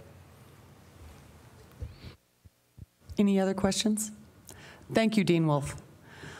We'll move on to information item C, which we are moving to the May agenda because Ron Muffick is unable to be with us today. So we'll move to item D, Level 2 Memorandum. I assume that all of you have read these. Um, I don't plan to go through them one by one, but if we have comments on any of the Level 2 memorandum that are presented here, please weigh in. Bob? Thank you, Madam Chair. I, I guess uh, from my old days back at Flathead Valley Community College, I wouldn't mind get, just getting an update, maybe from President Karas's perspective. What, what, what's this mean to Flathead Valley Community College so that I can answer some questions when we get home? Madam Chair and Regent, Regent Nystuen, can you hear me okay? Thanks, Mark. Uh, We've worked closely with MSU Bozeman's College of Nursing. In fact, we invited them to come to the Flathead in about 2001, 2002, and it's been a very collaborative relationship. And we've continued to work well together, and we appreciate all of their support. We also, as you know, have nursing at all levels, and there's a need in the healthcare community for nurses prepared at the PN level, the practical nurse, the RN level, both the associate RN and the baccalaureate RN, as well as master's prepared nurses. We certainly want to continue to work with MSU, but as they continue to grow their program, we just would ask that they continue to work with us due to limited clinical opportunities as our nursing program grows and theirs grows, that we can work together to find ways to ensure that all students in that nursing pipeline have the opportunities to become nurses and better serve our, our state and our region.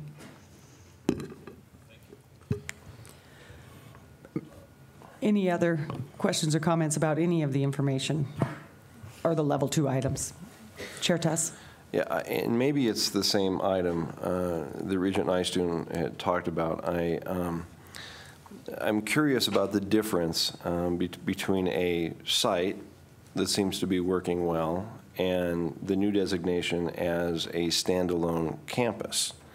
And I'm, um, I don't necessarily have the answer to that, but if somebody could answer that question, I think that um, it's probably a question that a lot of other folks have.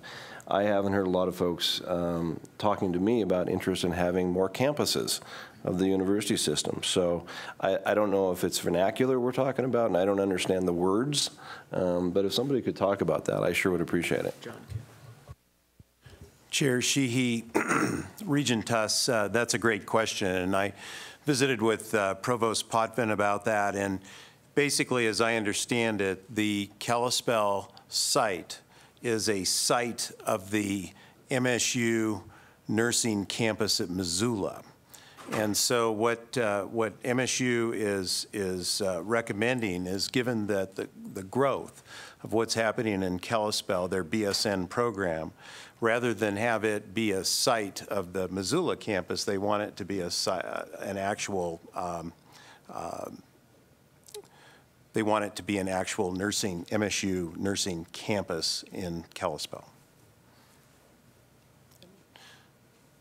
Provost Brown, did I describe that properly? Yes.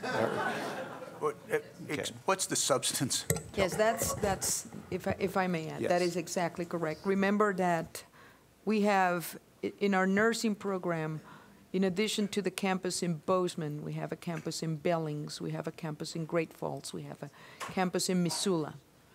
And then we have, think about it like that site had been like a satellite of the Missoula campus, but it has now grown to such a level that they're ready to be just like Missoula and Great Falls and Billings and Bozeman.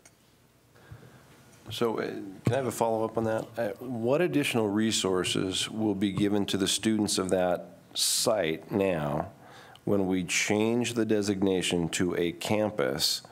What will change in a substantive on-the-ground way? I'm not versant on exactly what is it that the students will get. I think that it's just a matter of better coordination and administration for that, the faculty and the students of that site, so that they have more, more of the support that they need. Bob, go ahead. Thank you. I, I guess kind of curious for, for Dr. Karas, is there any concern that this, this change would take the wind out of the sails of the great nursing program that is up uh, in, in Kalispell in northwest Montana? Madam Chair, Regent Nystuen, you know, I don't know all the details of Bozeman's plan. I do know their, my, my understanding, as President Cruzado said, is it really does allow them to better coordinate internally their ability to work with their nursing program. Our one concern, though, is if they do expand their accelerated nursing program without working with us, because our nursing program is growing. Um, Certainly nursing uh, through the new uh, statewide grant, the federal grant that uh, the University, uh, the Missoula College is leading through the Commissioner's Office, as we're all expanding nursing. I think one of the challenges and the discussion we all need to have is that there is a great need for nurses in this state. There's a need for nurses at the practical nurse level. There's a need for nurses at the two-year Associate of Science Nursing RN level. They take the same national licensing exam that the baccalaureate prepared nurses take. Um, depending on which side of the divide you're on, the research shows that the Associate of Science prepared nurses are actually better nurses and do better on the national licensing exam. But there's also a great argument for the baccalaureate prepared nurses who do get the additional uh, gen ed core classes to help them become.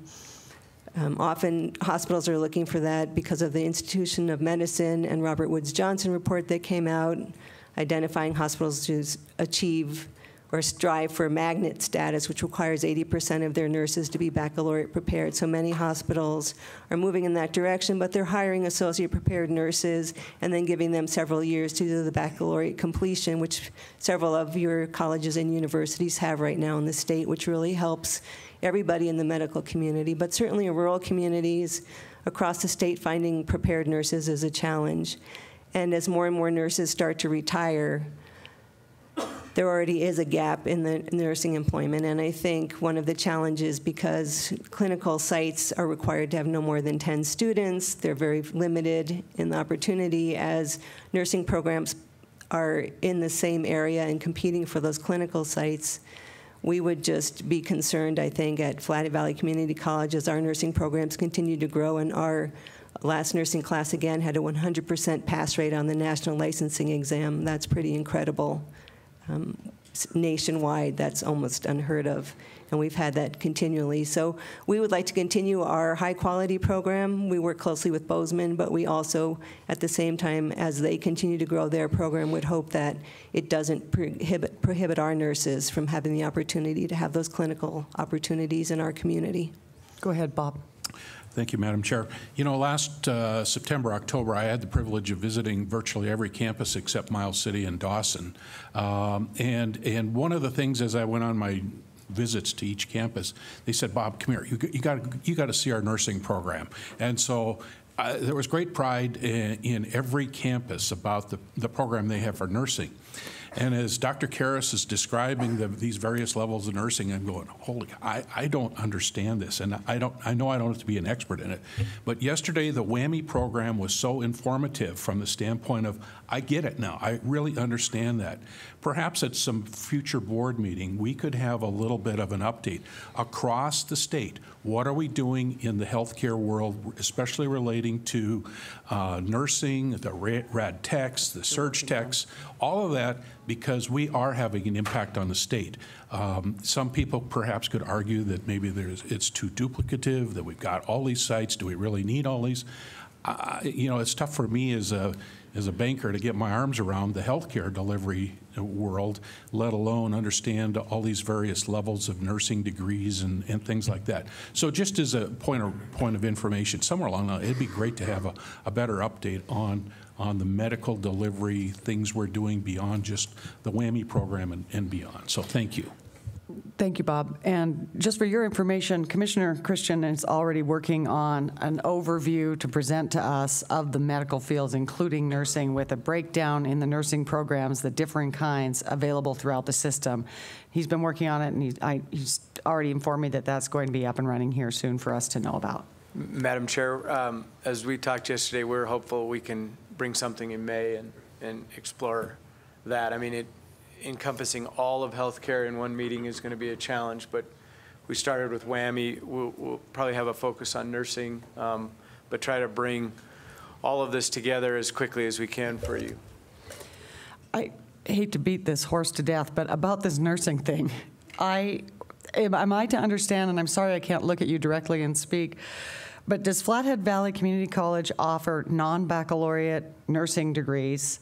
And the site that currently exists offers baccalaureate degrees, but not named Kalispell campus, but named from some other campus. And we're only proposing now to change the name of that, but still offer baccalaureate degrees? Madam Chair, the Kalispell campus does, and don't worry about having to turn your around, that's okay. might help me understand. I'm I'm used to being at the back table, that's fine. The, um, we do offer nursing. We offer the CM, CNA certified nurse assistant. We offer the practical nurse degree. We offer the registered nurse. And you can become a registered nurse either through an associate of science degree in nursing or through a baccalaureate of science in nursing. They both take the same national licensing exam. So nurses can become RNs either through, and depending on what their, their career goal is or, or what they're able to do, many, many of our nurses are students who, or, nursing students, are students who, for whatever reason, had to take a break uh, between their education for family or for work. They've worked in the hospital, they've decided they wanted to be an RN, they've always had a dream of being a nurse. Um, they're able to, and because nursing programs are are very small, again, because of the clinical sites. They have very large waiting lists. They're very difficult to get into. So the more nursing programs we can offer in the state, the better uh, prepared the state will be to meet the needs of the healthcare field. So we do have those programs.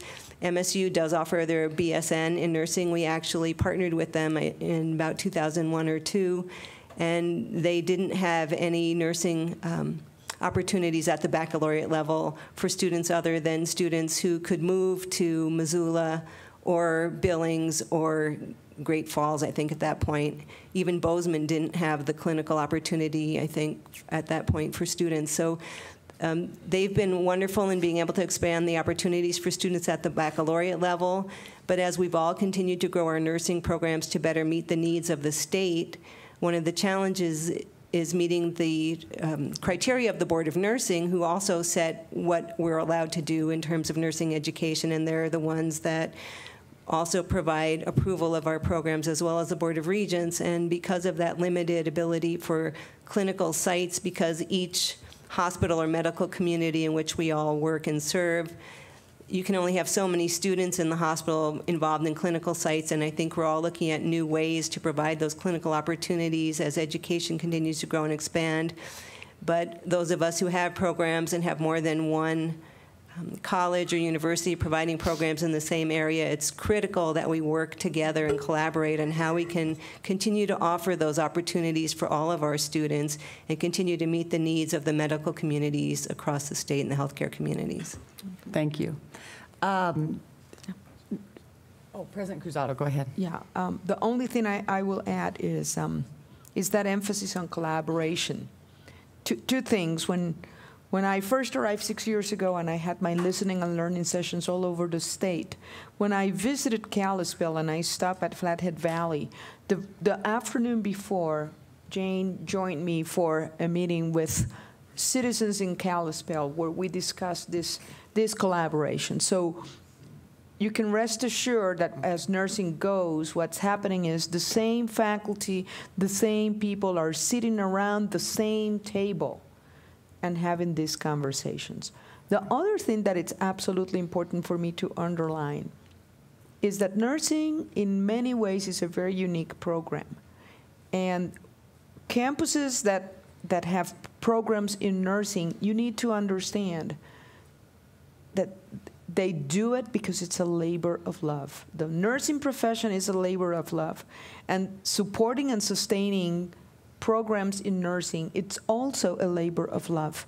They are exceedingly expensive programs that need a huge level of subsidies on the part of the institution in order uh, for us to be able to offer them. So in, in the case of Montana State University, every year we subsidize our nursing programs all around the state at a very high level. The other uh, reality that's important is quality. And, and these programs need to meet very stringent quality standards. So here's, here's the, the, the difficult situation that we have. We want to meet the needs of the state. At the same time, they're very expensive programs to operate. And in addition to that, we need to make sure that every program needs those uh, quality standards. Thank you. Any other questions or comments about any of the level two items? Casey.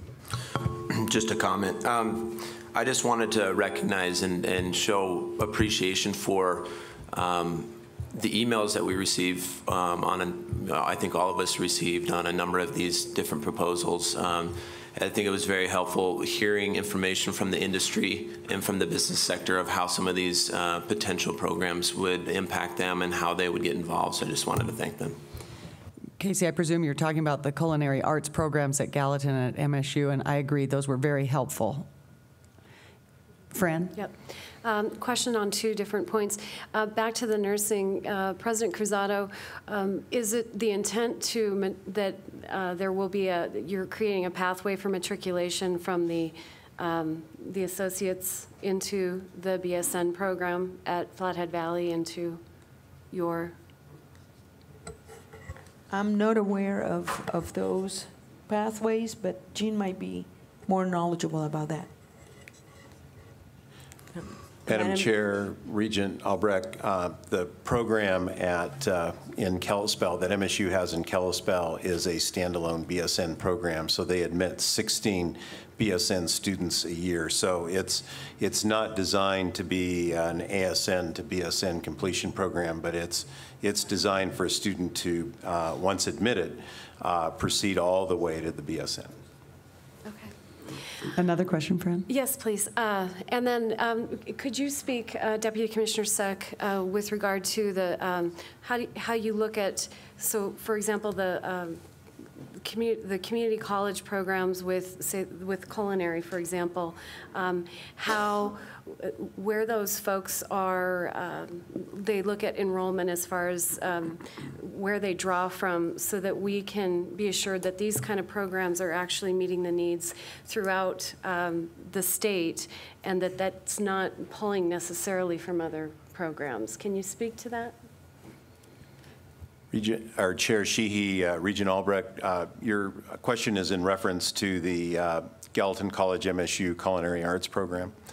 Um, The, uh, the nature of a two-year college is, is really to serve its, its local uh, and regional community. And, and um, so typically, a, a, a very large percentage of, of the enrollment at a two-year college comes from within a, roughly a 75 to 100 mile radius of, of that campus. So um, the, with respect to the culinary arts programs, we, as we know, we have two very successful culinary arts programs in western Montana, the Flathead and in Missoula, but we're really lacking anything east of, of the Continental Divide. And so I, I believe what MSU and Gallatin College are looking at is establishing a culinary arts program in Bozeman that would really be designed to serve the region uh, surrounding the Bozeman area.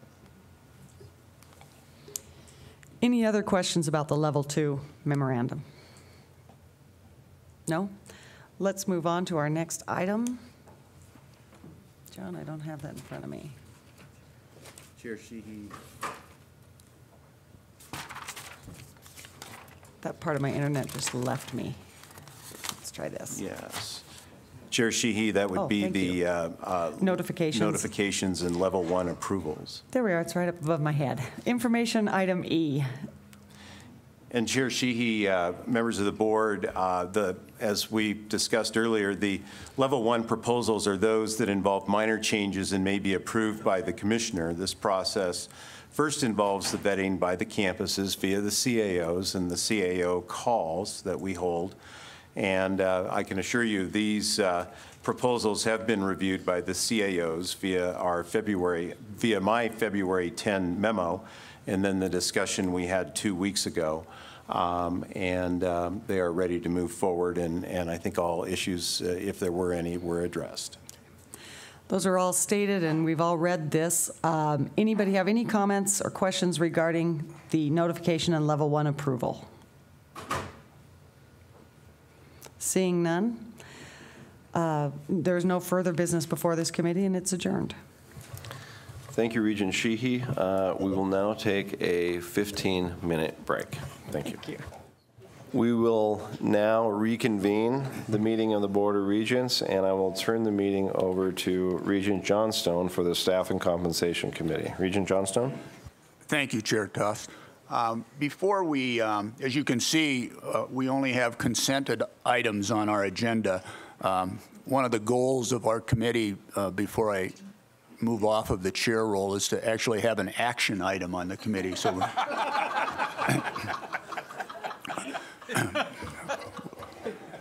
we'll, we'll work on that for future meetings. Uh, But before uh, I ask the committee members or, or the other members of the board whether there are any items on the consent agenda that they would like to be moved to action, I'd like to ask Deputy Commissioner McRae to perhaps give us an overview of the items, I- identify any that you think uh, are information that we should be aware of, and then perhaps discuss a little bit the, the uh, process of negotiation of the collective bargaining agreements, if you would, please. Certainly. Thank you, Chairman Johnstone. The consent agenda before you consists of uh, typi- typically, as it would, staff items, labor agreements, and emeriti faculty. So the staff items uh, consist of a proposal at Western for a uh, temporary stipend for an individual who, for an interim, is serving as both the athletic director and the head football coach. Uh, We also have a MSU Billings item for the hire of a new volleyball coach. We have an MSU Northern item for the, the normal salary increase of 2% for uh, head football coach. And then we have the hiring, uh, recommended hiring of a deputy commissioner, as we heard yesterday. The labor agreements, we have seven agreements on the agenda.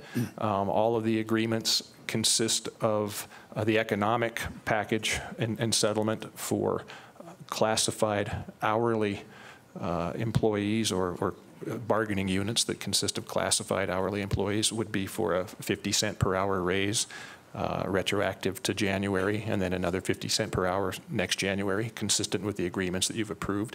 And then there's a faculty uh, agreement on there as well that contains the uh, material economic component is for the, the 2% raise, consistent with the other agreements you've approved. And then, uh, before I circle back to the bargaining update, the rest of the consent agenda then is we have five uh, faculty emeriti uh, awards, nominations, and um, we had a discussion in Staff and Comp Committee, kind of a refresher of uh, how that process works, the emeriti, uh, and it typically uh, begins at the department level when usually a, longtime serving faculty member is at the retirement uh, stage and um, is nominated at the department level, and the faculty member's peers uh, write an emeritus statement, and it, it goes through the review process up through the university, uh, lands on our agenda as a recommendation from the presidents, and, and then comes to the board. So that's the, the consent agenda. Excuse me, Deputy Yes. Commissioner. Perhaps before you go into the process, uh, we can consider whether any of the uh, committee members would like to move any item off the uh, consent agenda. Any other board members like to move any item off the consent agenda? Thank you. Please. Okay. The uh, status of collective bargaining in this cycle, this contract term, uh, some of us might recall that the duration or the term of our bargaining agreements corresponds to the two-year budget biennium. So that means for the, the, uh, the contract term that we are bargaining for now began July 1st of, of 2015 and will end June 30th of 2017. So we are uh, approaching halfway into that term. And we have settled uh, 21 of 25 agreements, uh, 10 of 12, 8 of 10 faculty agreements. So the, the two largest bargaining units that we are still negotiating with are the uh, faculty bargaining, uh, collective bargaining units at UM Western and at MSU Northern. Um, in the committee, we had some discussion, uh, the, the earlier committee meeting about maybe some of the factors that are, what, what are some of the issues or factors contributing to uh, some outstanding unsettled agreements. I did some quick homework, and I saw that two years ago at this time, um, we did not have settled agreements yet at UM Western or at MSU Northern. We did by May. And it's not that we don't begin bargaining uh, later at, at those units. Um, there, there are some circumstances that uh, sort of traditionally contribute to, in the end, every set of negotiations has some difficult issues that, that you settle at the end. And um, to that degree, we had a discussion about four years ago. And I, I guess because we have turnover and new administrators and new board members, um, I, I, can touch on that uh, a, a, little bit right now to, to kind of give you some perspective. Um, also, uh, the Bureau of Mines director, the state geologist, uh, yesterday had a great analogy about uh, crossing the pond by stepping on turtles. And I'll see if I can do that in this discussion and stay dry. So the, the chancellors and their provosts are going to know what I'm talking about, but I'll, I'll stay general. Uh, at our four-year campuses, six four-year campuses, when it comes to our tradition and our environment, uh, and, and, faculty salary issues and collective bargaining. Uh, two of the six four-year campuses have some different dynamics than the other four when, when it comes to uh, salary concerns, salary issues. And it's not always for, I would, I would say, not bad reasons. Um, the two bargaining units that have not settled yet have roughly 70 faculty at the institution and in the bargaining unit. And there are some differences in, in climate and psychology at, at an institution of, of this size compared to maybe an institution that has 500 or 600 faculty. And I would say that uh, I'd venture to guess that uh, uh, a collective bargaining unit that has 500 or 600 faculty, you could easily have a professor of business in that bargaining unit who would have a 30 year career at that institution and maybe never meet an English professor. But the other two campuses that I've mentioned where we're still negotiating, if you're a professor of business, by the end of your career, you've probably been to a barbecue in the backyard of the, every English professor. And so some of the dynamics deal with real and perceived equity and, um, well, primarily, primarily equity and, in terms of how we apply uh, salary raises and how we determine hiring rates. So at four of those six campuses, in Bozeman, Billings, Butte, Missoula, it is long established and accepted that faculty salaries vary widely by academic discipline based on the market. In other words, it's established and accepted by both the faculty and the administration that the, a salary for a professor of languages is going to be substantially different than the salary for a professor of nursing or, or business. At two of the campuses, the two where we're still negotiating. Uh, it does not seem as acceptable that salary differences or dramatic salary differences by discipline are at least uh, to, to, to, all parties at the table uh, as important to recruiting and retaining faculty. Uh, whether it seems acceptable, it definitely is not as established on those two campuses in those bargaining units. Also, at two of the the six units, four-year units, uh, well, at four of them, Bozeman, Butte, Missoula, Billings, we have accepted, acceptable, and established procedures for faculty merit pay.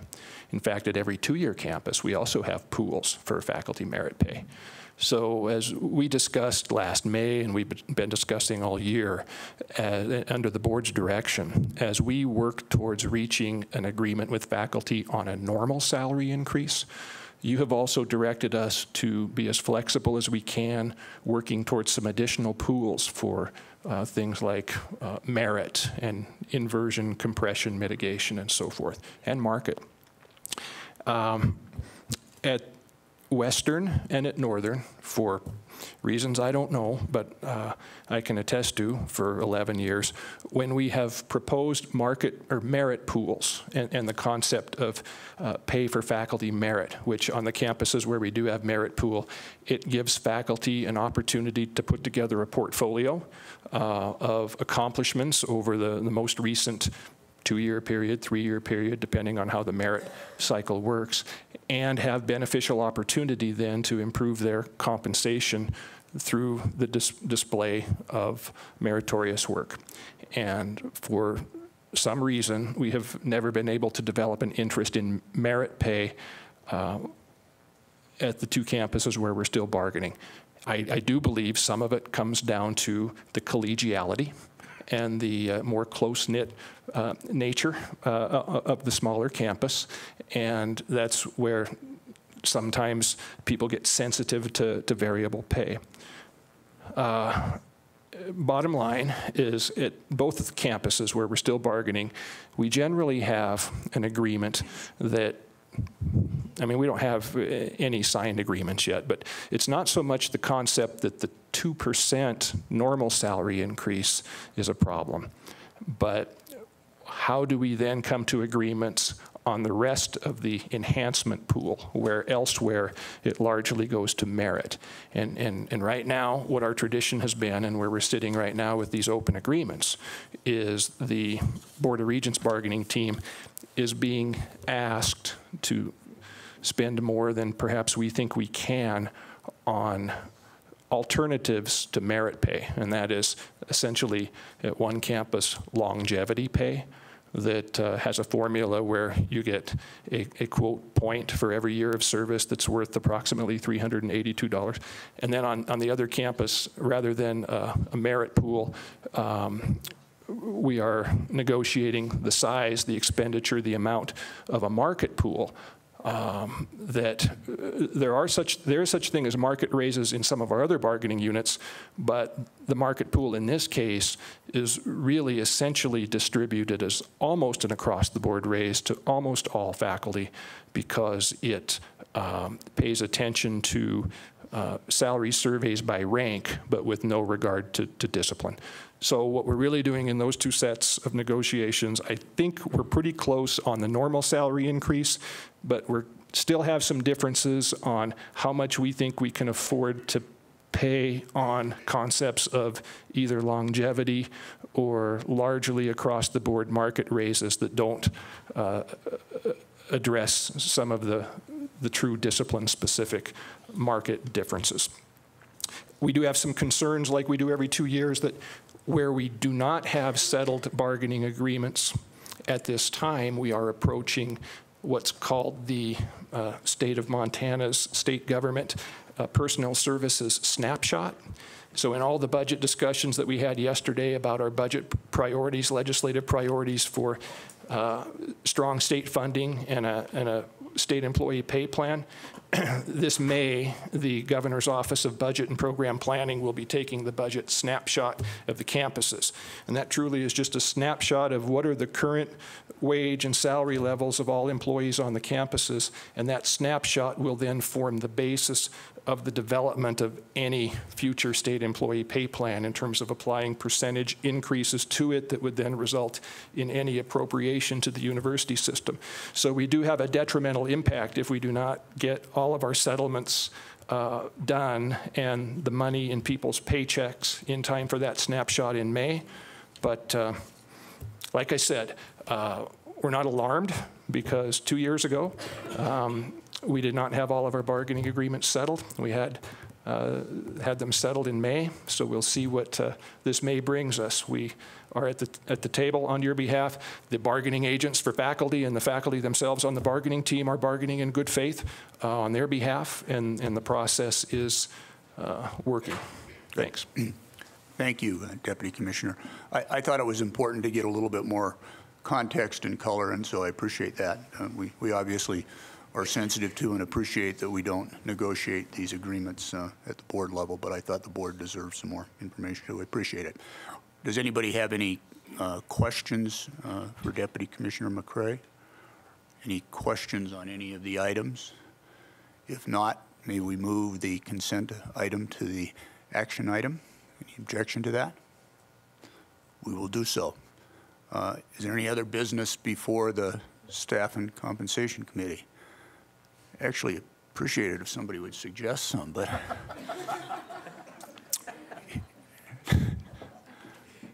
Go ahead, Martha. I just want to say, Bill, that as a guy with a humanities degree who's managed to get a few jobs, my money's on you that you'll have an action item before it's all over. Thank you. Hearing none, I think that concludes the uh, work of the Staff and Compensation Committee. Thank you, Chair Tuss. Thank you, uh, Regent Johnstone. Uh, we will now move into uh, action on the various items from the four committees that we have. Um, And just to let folks know, I'm I'm unsure about how long this will take. Um, We do have a comment, public comment period scheduled for 11:30. Uh, It will be my intention if we do end uh, our action items prior to the time of that public comment period, we will take a recess, and we will come back at precisely 11:30 for public comment. I just wanted folks to know that. So with that, uh, as a notice, let us move on to um, action for the various uh, items in our budget committee, uh, chaired by Regent Albrecht. We have uh, items A through F on the budget committee, which are consent items. Is there a motion to move these items? So moved. There is a motion on the floor to move items A through F on the consent agenda. Um, Is there any uh, further uh, comment from members of the board, from campuses, or the public on these items? Hearing none, all in favor of the motion signify by saying aye. Aye. Aye. Opposed, no. Uh, The motion passes. We're now at action item A, Budget Committee, authorization to name the Engineering and Physical Sciences Building MSU Bozeman. Uh, Is there a motion to approve? So moved. It's been moved. Is there any additional comments from members of the board, from campuses, or the public? Seeing none, all in favor of the motion signify by saying aye. Aye. Aye. Opposed, no. The motion carries. Uh, Action item B, authorization to construct Museum of the Rockies collection slash storage facility, MSU Bozeman. Is there a motion? So moved. You've heard the motion. Uh, Is there any additional comments from members of the board, from campuses, or the public? Any additional comments? Seeing none, all in favor of the motion signify by saying aye. Aye. Opposed, no. The ayes have it. Uh, Action item C, authorization to renovate Matthews Hall restrooms, UM Western. Uh, Is there a motion to approve? So moved. You've heard the motion by Regent Albrecht. Is there any additional comments? Regent Nystuen. Thank you, Mr. Chair. Um, If there's the potential that uh, the company I work for would be involved in any type of financing arrangement for item C, the Matthews Hall restrooms, or the uh, uh, third floor research facility, I think I will abstain from item C and E. Thank you. Thank you, Regent. Uh, Commissioner? Mr. Chair, although the approval of this item isn't conditioned on financing or any finance options have been chosen, I will say that the last few placements have been with local banks in Montana, and certainly your uh, bank has been included in that. So, uh, you know, I don't know if it's a conflict on this item as, um, it's, it's not depending on that relationship at all, but um, certainly up to you. Thank you, Commissioner. Regent Johnson? No. Oh, okay. Um, Are there any additional comments from members of the board, from the campuses, or the public on this item? Any additional comments? Seeing none, all in favor of the motion signify by saying aye. Aye. Those opposed, no. Are there any abstentions? Regent Nystuen will be noted as an abstention. Uh, Action item D, authorization to transfer property from the University of Montana Western Foundation to the University of Montana Western, an item brought to us by UM Western. Is there a motion to approve? You've heard the motion by Regent Nystuen. Is there any additional comments from members of the board, from campuses, or the public? Any additional comments? Seeing none, all in favor of the motion signify by saying aye. Aye. Aye. Those opposed, no. The ayes have it. Action item E, uh, complete remaining research space at third floor ISB, UM Missoula. Is there a motion to approve? So moved. You've heard the motion.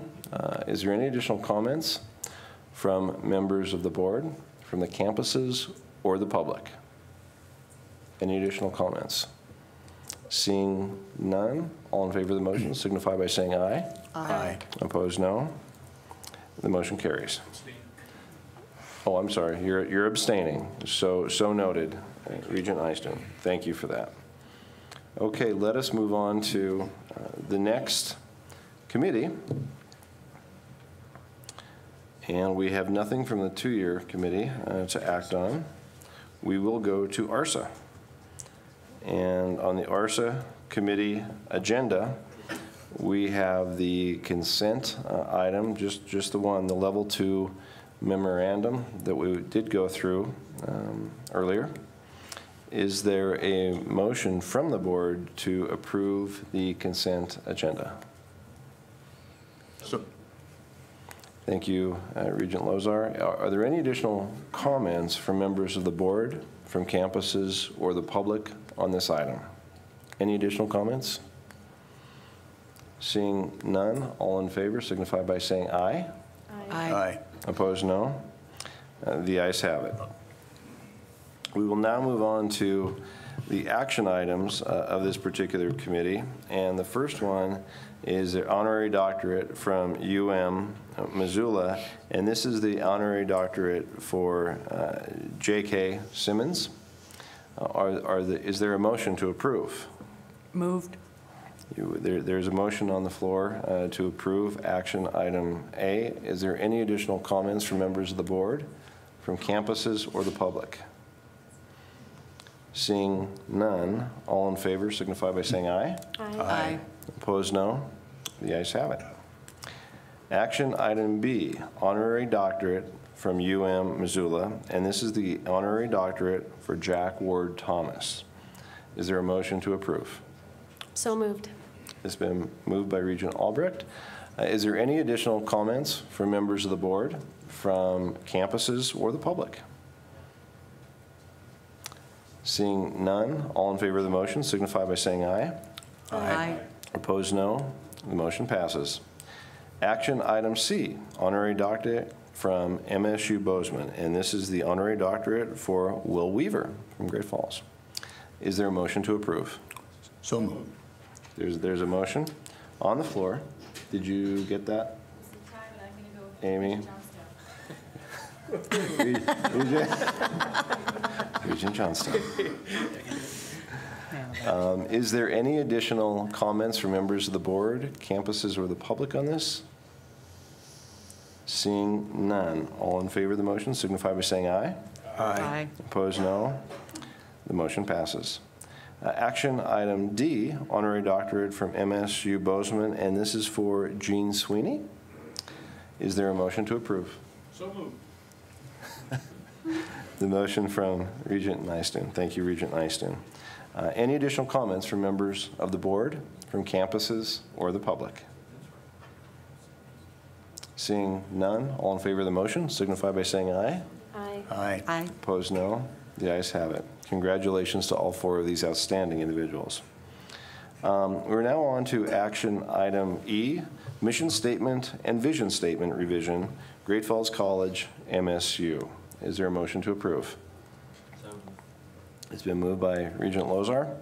Uh, Is there any additional comments from members of the board, from campuses, or the public? Seeing none, all in favor signify by saying aye. Aye. Opposed, no. The ayes have it.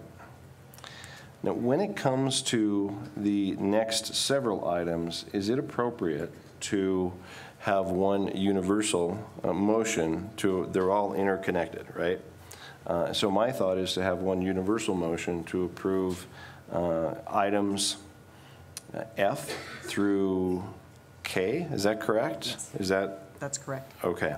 Is, is that the intent of the board and acceptable to the board? Yes. Okay. Do we have a motion then on the table to approve items F through K? So moved. It's been moved by Regent Sheehy. Are there any additional comments from members of the board? Regent Johnstone. Yes, thank you, Chair Tuss. Uh, I- I'm, I'm going to support the motion, but I, I would make two observations that I think came out of our conversation earlier. One, that we need to continue to review this to see how it works and, and be willing to do so promptly and quickly. Um, And secondly, uh, unrelated to the motion, but I I do believe we need to take a fresh look at our committee process. And I would hope that we would do that over the next uh, several months to see whether the committee meeting process, the interim meeting process, is working as effectively as it can. Thank you, Regent Johnstone, for those comments. Are there any additional comments from members of the board, from the campuses, or the public? Are there any additional comments?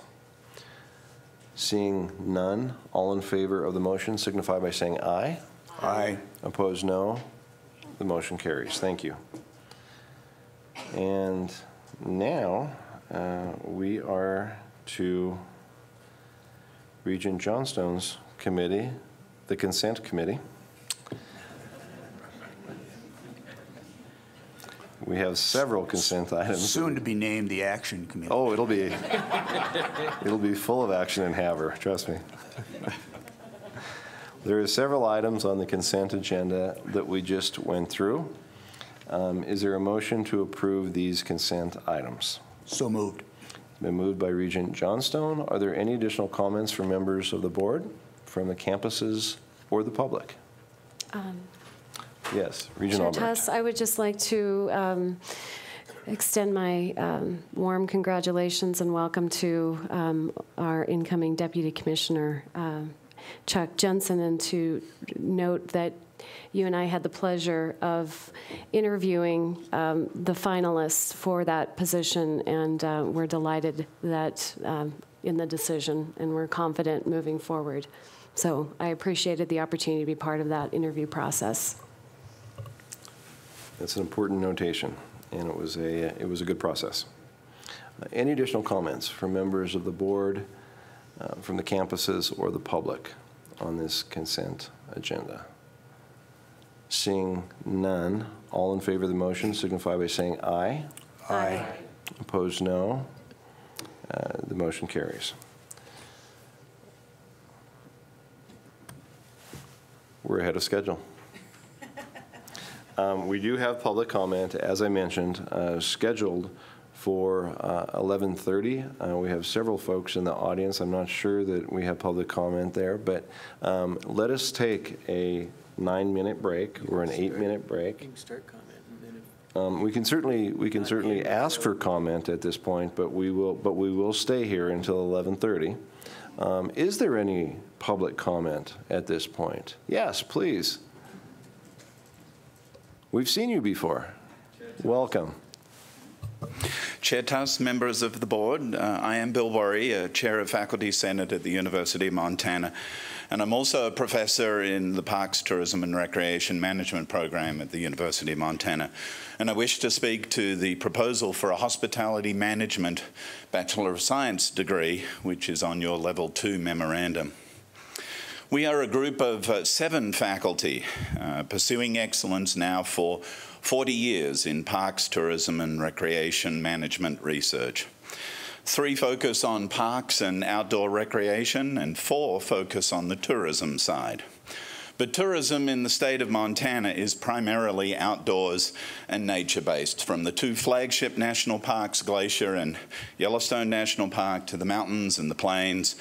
Visitors look to the natural beauty as a highlight of their trips to our great state. Our tourism faculty are nationally and internationally renowned. In fact, two are currently in India teaching ecotourism workshops similar to the courses that they teach in our Bachelor of Science program. They've published industry standard textbooks, cutting edge research volumes, and they've been recognized repeatedly by Travel Montana, by Montana's Office of Tourism and Business Development, by the National Travel and Tourism Research Association. Our research is in high demand, particularly those documenting the economic impacts of tourism and outdoor recreation in our state. In fact, most of the statistics about tourism in Montana come from our group at the University of Montana. We work closely with BBER, the Bureau of Business and Economic Research in the School of Business Administration. Our tourism students intern and get jobs throughout the state, from the Yellowstone Club, the Big Sky Community Corporation, Xanterra Parks and Resorts, Glacier Park Incorporated, conventions and visitors bureaus, to the very many guiding and outfitting companies throughout the state. We're proud of what we've contributed over 40 years, and we look forward to training leaders in tourism and supporting tourism in the state of Montana for another 40 years. Thank you. Thank you very much. Additional public comment?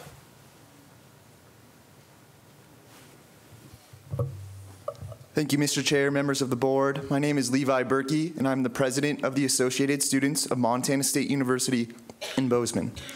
I stand before you to voice student support for the proposed culinary arts and hospitality management degrees at MSU.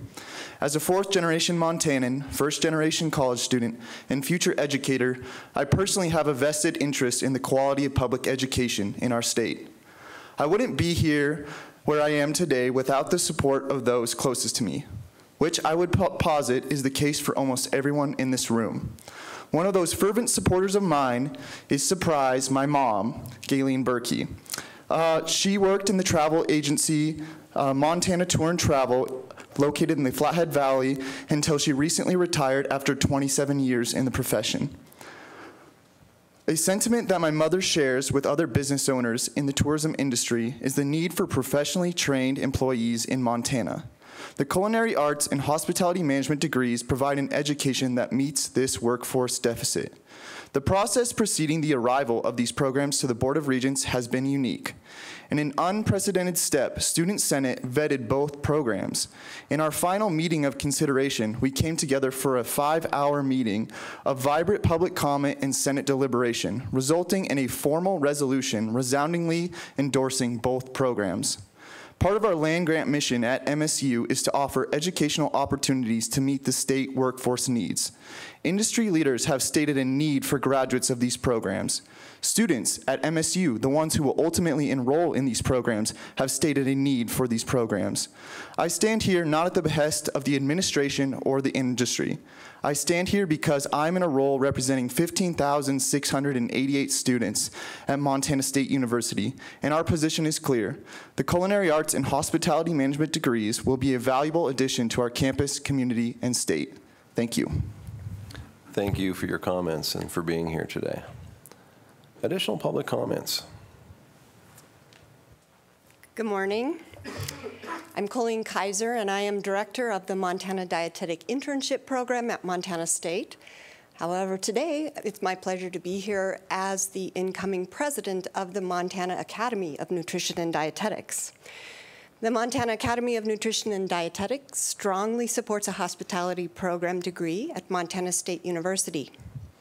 The accrediting organizations for dietetic education recently examined dietetic food service management competencies and identified areas that educational programs need to address in order to meet enhanced standards in future student preparation. Noted areas of significance to the MSU hospitality program include leadership and management skills, food, basic food preparation and culinary skills, and sustainable practices in food and nutrition services. Curriculum resources in dietetics and the hospitality program degree support achievement in these areas and will positively impact the practice of dietetics in Montana and the Mountain West. A strong area of employment for registered dietitian nutritionists is food service management. The intersection of individual and community health as it relates to a well-functioning, vibrant food system is a unique approach to create a healthier population. The courses in the MSU Hospitality Management degree specifically related to culinary arts and to the farm-to-table sourcing meet dietetic performance competencies and will strengthen the profession and those being prepared for uh, work settings that are emerging and innovative. The existing dietetic program and the new hospitality program are mutually supportive. Montana is a state well positioned to have a profound impact in the arenas of rural economic development, environmental stewardship, and human well being. MSU has the opportunity to fulfill its highest land grant mission charge in preparing individuals that meet the demand for college educated workers in these industries throughout the hospitality management through the hospitality management program. MSU dietetic students and graduates lead the workforce and excel in many employment sectors as most certainly will be the case with future graduates, given the building blocks that enhance programming and resources provided by a new hospitality management degree. Thank you for the opportunity to state this support. Thank you very much. Additional public comment? Mr. Arveschoug, welcome. Not so heavy on the Mr. Arveschoug, though. Uh, Mr. Chairman, members, Board of Regents, I have a, just a few comments. You're probably wondering what what Steve come all the way to Dillon from Billings for, and I've been very intrigued by this process. I want to offer some comments of encouragement for what's happening on our, on our campus and in our community of Billings. But I was also over here because I had a friendly debt to pay off with my nephew. I lost a bet on a game, a Billings Central versus Dillon last fall, and so it took me this long to pay it off. And so these two two responsibilities merged, and I'm here today to to talk with you. I had another bet in this process with my sister-in-law. It was Montana Tech versus Western, and I won that bet, uh, Chancellor.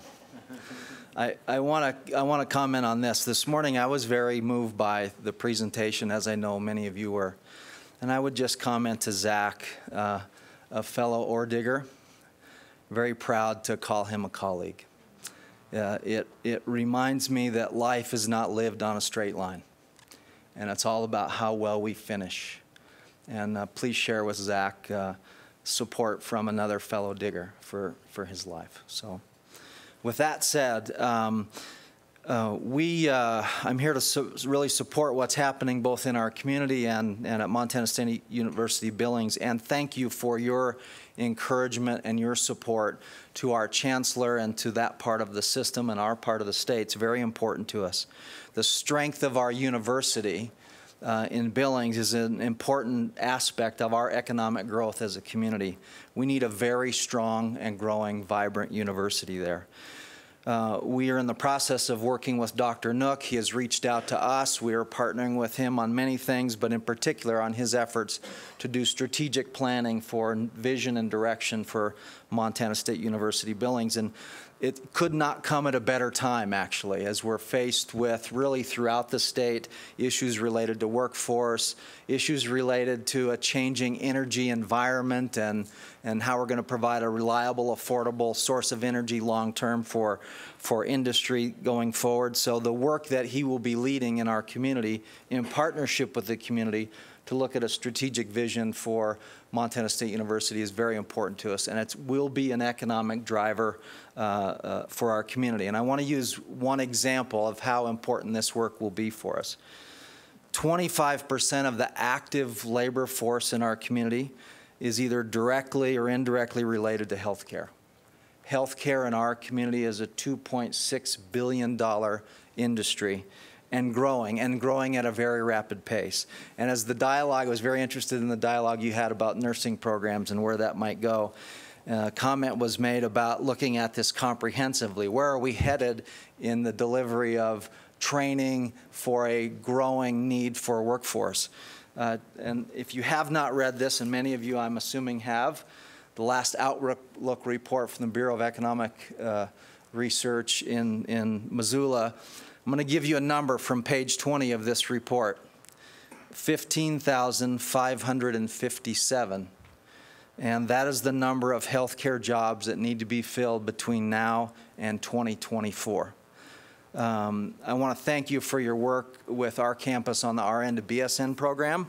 That's just a small step in a more comprehensive process that I'm hopeful that you engage in and that I'm hopeful our campus will be a, a very important part of that. As a side note, my wife is a nurse, an RN for 22 years, Uh, she's going through an RN to BSN program right now. I talk to Mark about that often. I'm just going to encourage the people who put these curriculums together. Um, those nurses are working 10, 12 hour shifts, and then when they come home, uh, they get to go on the computer and do classwork. And if for no other reasons, just to support the husbands of, of, of those wives uh, or, or spouses, however that might work, it's got to be flexible, it's got to be affordable, and it's got to work with their life, both their work life and, and family life. So just a personal encouragement as you look at what you're doing with the delivery of uh, important training, education for, for uh, uh, our healthcare workforce. Big number, 15,557 in eight years. Lastly, I want to thank uh, Commissioner Christian, also Commissioner Sack, uh, for allowing us to partner with uh, Dr. Kurt Lacey. Uh, he's very active in our Billings Works uh, initiative, and he's, he's a real resource that we lean on quite, quite heavily for his expertise and guidance in the work that we're doing. And if you didn't know, our Billings Works initiative is really private sector driven. Uh, we have a very large roundtable. Most of our participants, in addition to our stakeholders and educators that are around that table, are the private sector. They participate on our steering committee, on our regular council meetings, but most importantly, they tell us what's happening on the streets in their business every single day. In 2015, we produced our first State of the Workforce report. Uh, some of you may have seen this. Uh, we're in the process of producing the 2016 report. That is information that comes directly from the private sector in our region and our marketplace. Through an employer survey that we launched, through focus groups with industry sectors, they're telling us specifically in this report what their needs are. So when our 2016 report rolls out, we'll make sure the appropriate folks get that report. That is a driver of workforce development strategy in our community. And uh, if it can be beneficial to the work that you're doing as our Board of Regents uh, and our higher education system, we'd be, we'd be happy to share that, that with you. With those comments, I just want to thank you. Thank you for letting me kind of be a fly on the wall today and observe your process and offer these public comments. We're a champion of what's happening uh, under Dr. Nook's leadership. We look forward to the strategic planning process it is vital to our economic uh, diversity and future going forward in our region. So thank you very much. Thank you, Steve. Additional public comments? Additional public comments? Oh. I wonder what he's going to talk about. I'll bet I know. Good morning. Yeah, by, by my attire, I hope you realize I'm here on the on the behalf of the culinary program. My name's Mike Dean. I'm the executive sous chef for Xanterra Parks and Resorts in Yellowstone National Park. Uh, again, working with the, the Bozeman Group on the, the culinary arts and the hospitality programs. Um, I've been working in Yellowstone for 30 years. I started as a, a dishwasher in 1986. Uh, I came up through the ranks. Uh, I have learned to appreciate the, the, the, training and the hard work and the, the enthusiasm that culinary people have in the kitchens. Uh, i became a, a, certified executive chef 17 years ago. Um, in, in that role, it's, it's my obligation as a professional certified chef to give back, to educate, to help develop the, the next generation of our chefs. Um, the, the, sheer numbers of, of people and meals that we serve in Yellowstone, everybody knows the, the numbers. Yellowstone visitation was 4 million people we as a company in Yellowstone served 2 million, 2.1 million meals over last summer. Um, the, the, the hiring that we do, I hire 12 restaurant chefs on a seasonal basis, 27 seasonal sous chefs, uh, and hundreds of other culinary operations. Um, we also look at, again, the, the, the, partnership between the culinary side and the hospitality management side. Um, I, I can cook food, but I need somebody else to manage the property, to check people in, to take care of the lodging. So the, the diversity of, of those opportunities is phenomenal in Yellowstone alone. And again, as, as a representative of Xanterra Parks and Resorts, we also were awarded the concession contract in Glacier a couple years ago for the next 16 years. Sometimes I feel that my partners in Glacier and I are, competing for the same small resource of culinarians and hospitality people. So I think the, the, the potential for development of this, this uh, culinary hospitality program in Bozeman is huge. We can, we can offer jobs, we can, can provide dozens of internship programs, externship programs. So I think the, the, the positives are uh, huge, profound impact on the, the, envir- the, the area, the region that we work, uh, and fully supporting any, anything that we can move forward with this program. Thank you very much. Thank you for your comments. Is there additional public comment?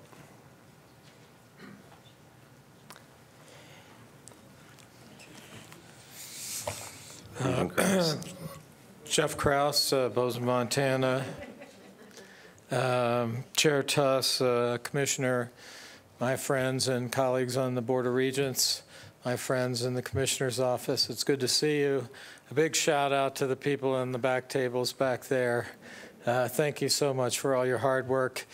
Uh, President Nook, I'm flying the, the MSUB today. I know that's not the right appellation, but it works.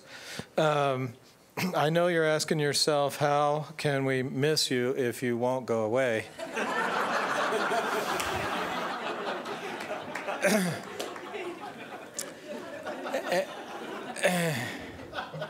And, and, I promise uh, I'll stop showing up uh, just as soon as Dr. Waded Cruzado and the Bozeman MSU community stop coming up with innovative and progressive proposals. Um, I, I, think I'm here, uh, I rise, as they say somewhere. Uh, I rise to support the, the two um, uh, degrees, the associate's degree and the hospitality degree that are proposed today. Um, and uh, I and I don't have a whole lot to, to say. I think when you hear from the people in the industry, as you have by email, but it's always nice to have a few people take the time to show up and uh, talk about this. Uh, uh, I, I, have a couple of statistics from the Institute for Tourism and Recreation Research. Thank you very much for your research and paying attention to one of the critical uh, industries in the state of Montana. That, by the way, that's from the University of Montana. I know some of you know that, right? But uh, thought I'd call that out, and I and uh, and I also wanted to call out uh, uh Regent um, Nystuen uh, um, because he's a banker, and I like having a banker on the Board of Regents because bankers go where the money is, and bankers tend to find the towns that are growing and the industries that are growing and make big bets on those towns and industries. So it's great to have one there. Thank you. Um, I appreciate that point of view. Um, I think that in 2014, total spending by non-residents um, in the state of Montana was something like three billion seven hundred and ninety-one million eight hundred seventy yeah, I got anyway, somewhere in there, 3.8 billion basically, and uh, and and it was and it's interesting. I think uh, I, I, know uh, Regent Nystuen's history with uh, Flathead Valley Community College, and he obviously took his banker's philosophy with him to the college as he ran that, and Jane Karas too, because they have a very successful culinary arts program there, and I I was privileged enough to go eat there and spend some time there um, uh, last year, and uh, and it is very successful. And I think that one of the reasons for that is is Flathead County is the number one county for non-resident spending in the state, number one, and uh, and and and so it is a natural place to have um, that kind of spending. For example, um, $668 million of total non-resident spending in Flathead County. Um, restaurant and bar spending in 2014 in one year um, in Flathead County, $135 million. Uh, hotels and motels, another 58 and a half million, and retail sales from non-resident spending, uh, I believe was uh, 170 $3 million. So it's a huge industry there. Um, in contrast, for example, to, you know, I thought, well, uh, you know, that, that retail sales is great, but we got a huge uh, um, uh, city in, in Montana, our, our brawny-shouldered energy and medical and retail trade center down in Yellowstone County, and, and they're, they're bound to be bigger, and yet their non-resident spending on retail is 91 million. Their restaurant and bar spending is 77.6 million. Um, and so there, there is a very different degree of that, uh, of that um, there. And so when you talk about uh, one of the things that came up today, I noticed in your discussion, was um, the sort of the, the, the, the, need for this kind of industry and the need for this kind of, uh, of uh, uh two-year program is, is somewhat drawn from the area you're in. And, uh, and yet we have a very successful culinary arts and, and, and uh, tourism programs at, at, at, the University of Montana.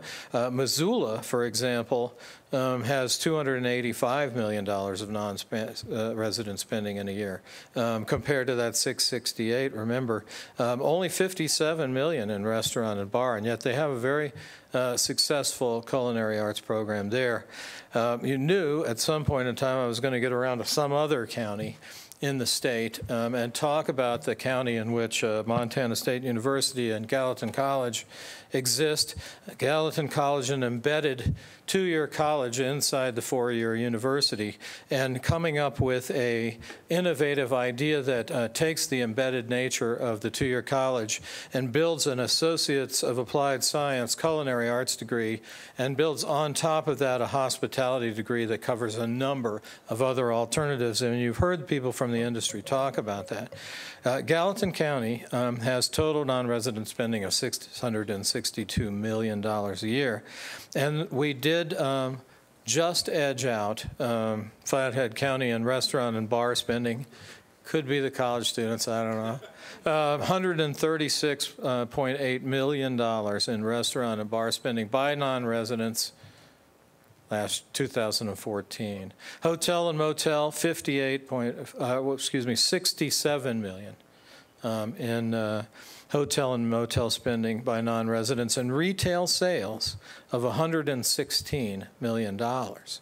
So um, you know, this is a very important industry in the area and in the town that I used to be mayor of, right? A very important industry. And yet we hear all the time that we are undertraining or we're underserving our um, employers.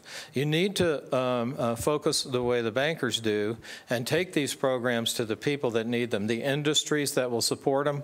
One of the reasons Flathead Valley Community College is so successful is that they have incredible support from their community, and, and the program of culinary arts is one of them. I, I pointed the two leaders here. They share in that success. But, but that's one of the reasons, and, and we have lined up, uh, I think, uh, a number of people either emailing you or writing you letters or coming here today to talk about the support for that industry um, for these two programs. And so um, uh, I, I, would just uh, ask you to wholeheartedly support these two programs. We, we, um, our, uh, uh, we have seven new hotels proposed in the city of Bozeman, seven new hotels, right? We just opened, you know, several last year and uh, and no, none of them are out by the airport. They're all in the city of Bozeman. So I, I would tell you that that hospitality, when it comes to these kind of things, uh, um, we need managers, we need entrepreneurs. I think one of the things that I saw in the discussions of these previous to this was, well, the wages are low. Well, let me tell you, we have the Jake Jabs School of Business and Entrepreneurship at Montana State University,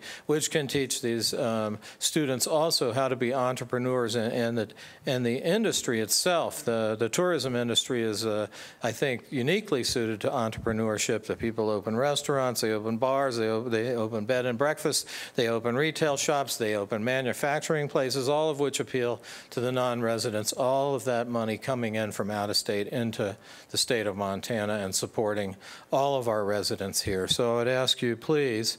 Um, uh, I, I, don't have any. I, I, still have a student. In, I still have a student in college. I'm still writing those checks. Um, so as a consumer, and also as a, um, a, member of the public, I would ask you to please give your wholehearted support for um, these two proposals. I think they will uh, do you credit in the years to come. Uh, just uh, one last thing. I did mention that I still have a um, uh, a son at Montana State University, and I think he is in the um, the School of Computing, or he soon will be. So thank you for that as well. It's good to see you, Jeff. Thank you for being here, and thank you for your comments. Thank you. Further public comment? My name is Mike Hope. Uh, I'm a proud uh, Montana State graduate, business, 1987. I started out in the hospitality industry when I was 14 years old as a dishwasher. I'll never forget, I went home and I told my dad I was living in Minneapolis at the time. I said, Dad, I got a job. He says, What are you doing? I said, Well, I'm going to be a dishwasher. He says, Well, you're not old enough. I said, Well, I lied about my age. Flash forward two weeks, I came home and I said, Dad, you're right. I wasn't old enough. I want to quit. he says, You know what? You weren't old enough, but I'll tell you when you can quit. Well, 40 plus years later, I'm still in the business. Uh, we have the Rocking R there in Bozeman, proud Bobcat Bar. Although I became a, a Grizzly fan when Mick Delaney was your head coach. He's a personal friend. So I can uh, never been able to stomach it, but when Mick became the coach, I rooted for him till he got the Bozeman, and he was a class act. I don't think so. I did have to wear a maroon sweatshirt this year, so that was a hard pill to swallow. But uh, my experience in the Bozeman, so we have the Rocking R mixers, and we had Ferraro's Fine Italian Restaurant. So we had a real nice cross section. They're all independent operations. The, the toughest problem we had, and we have sold our restaurant, we sold it in September. We had 22 new established opens in the last 18 months. All of our employee base came from Montana State University, whether it was managers or waiters or dishwashers or cooks. What drove me out of the restaurant business was the lack of the quality in the kitchen and the ability to, to develop management. As a small opera, operator, I don't have the ability to really sit down and give those kids the skills they need. I'll develop them with them, but if they came with me with a greater skill set, not only will they be more successful, I would be more successful as an industry. I also want to address some people talk about the incomes that these kids can make. We have a lot of low earners in the industry, but if you're willing to work hard, you can make a good life for yourself. Um, I'm going to give you two examples. The person that runs the Rocking R and Mixers is a finance major at Montana State University. He became and he runs our operations, and people go, "Why did you become a? You know, you went to school to be a finance guy and do all this, blah blah blah." Well, what I want to tell you is, we afforded him an opportunity. By the time he was 30, he had every one of his student loans paid off. He had no financial assistance from his family. He was from Whitefish, Montana. Uh, he also bought a four bedroom home in Bozeman, Montana, and he paid his car loan off all the time he was 30. He started managing for us at 25. So I'd say we were an industry, and I'm proud of the fact that we provided this young man the opportunity. Our goal with him is he's my retirement program. As you get older, these young people back here don't want to talk to Mike anymore. They want to talk to somebody they can relate to. Uh, we also, at the restaurant, the uh, young lady that ran the front side of our house started as a waitress for us. Actually started as a, a busser. She went through, got her education degree, went out, decided she did not like teaching school, came to me and said, Mike, I'd love to get into management for you. And the one thing an education degree does, it gives you the ability to manage and organize things. And she became a manager for, for us. And I'm proud to say that her and her husband, on her salary, bought a house in Bozeman, Montana. You're not familiar with Bozeman, it's a tough place to affordability wise. So there's just two operations, and both of those young individuals were under 30 and did that. And our industry supplied that. So I would encourage you to support. And the final piece I'd like to tell you when Dr. Zato showed up to Bozeman, I called up and demanded a meeting with the new president. she didn't know who I was, had no clue, but we sat in her office. I said, Dr. Cruzado, I've been around this community since 1981. I talked to three or two presidents past prior to you about a hospitality program. We as an industry needed a hospitality program. So Dr. Cruzado, I would like to thank you for listening. Uh, our industry needs this. We can support it. We will financially support it, and you'll find out that when these kids come out of this program, these young adults, they will want to get back to your university system as a whole. Because that's the most important thing we can do as a university system, want these people to stay in our state. So, thank you. Thank you. Thank you very much for being here. Additional public comment? Additional public comment? Additional public comment? Yeah, we're good.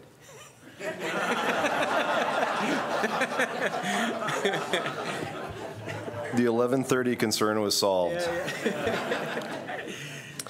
Well, once again, uh, final comments from me. I just once again would like to thank UM Western for rolling out the red carpet the last couple of days. You've been a wonderful host. Thank you, Chancellor, and please thank your folks uh, for us as well. And as we always do, I'd like to thank Montana PBS um, for what they do uh, all the time, uh, but certainly during our Board of Regent meetings. Um, Thank you very much, Montana PBS. Um, I would remind the Board of Regents that we will immediately uh, go into executive session in the boardroom uh, in this, Right here. this building, which is right next door. No, not building, room. Room, I'm sorry, uh, the room right next door. Right next door. The boardroom in, in this building. Was that clear to everybody? Okay. Uh, To discuss litigation strategy update. Um, And unless there are no further comments or announcements, the meeting is adjourned. Thank you.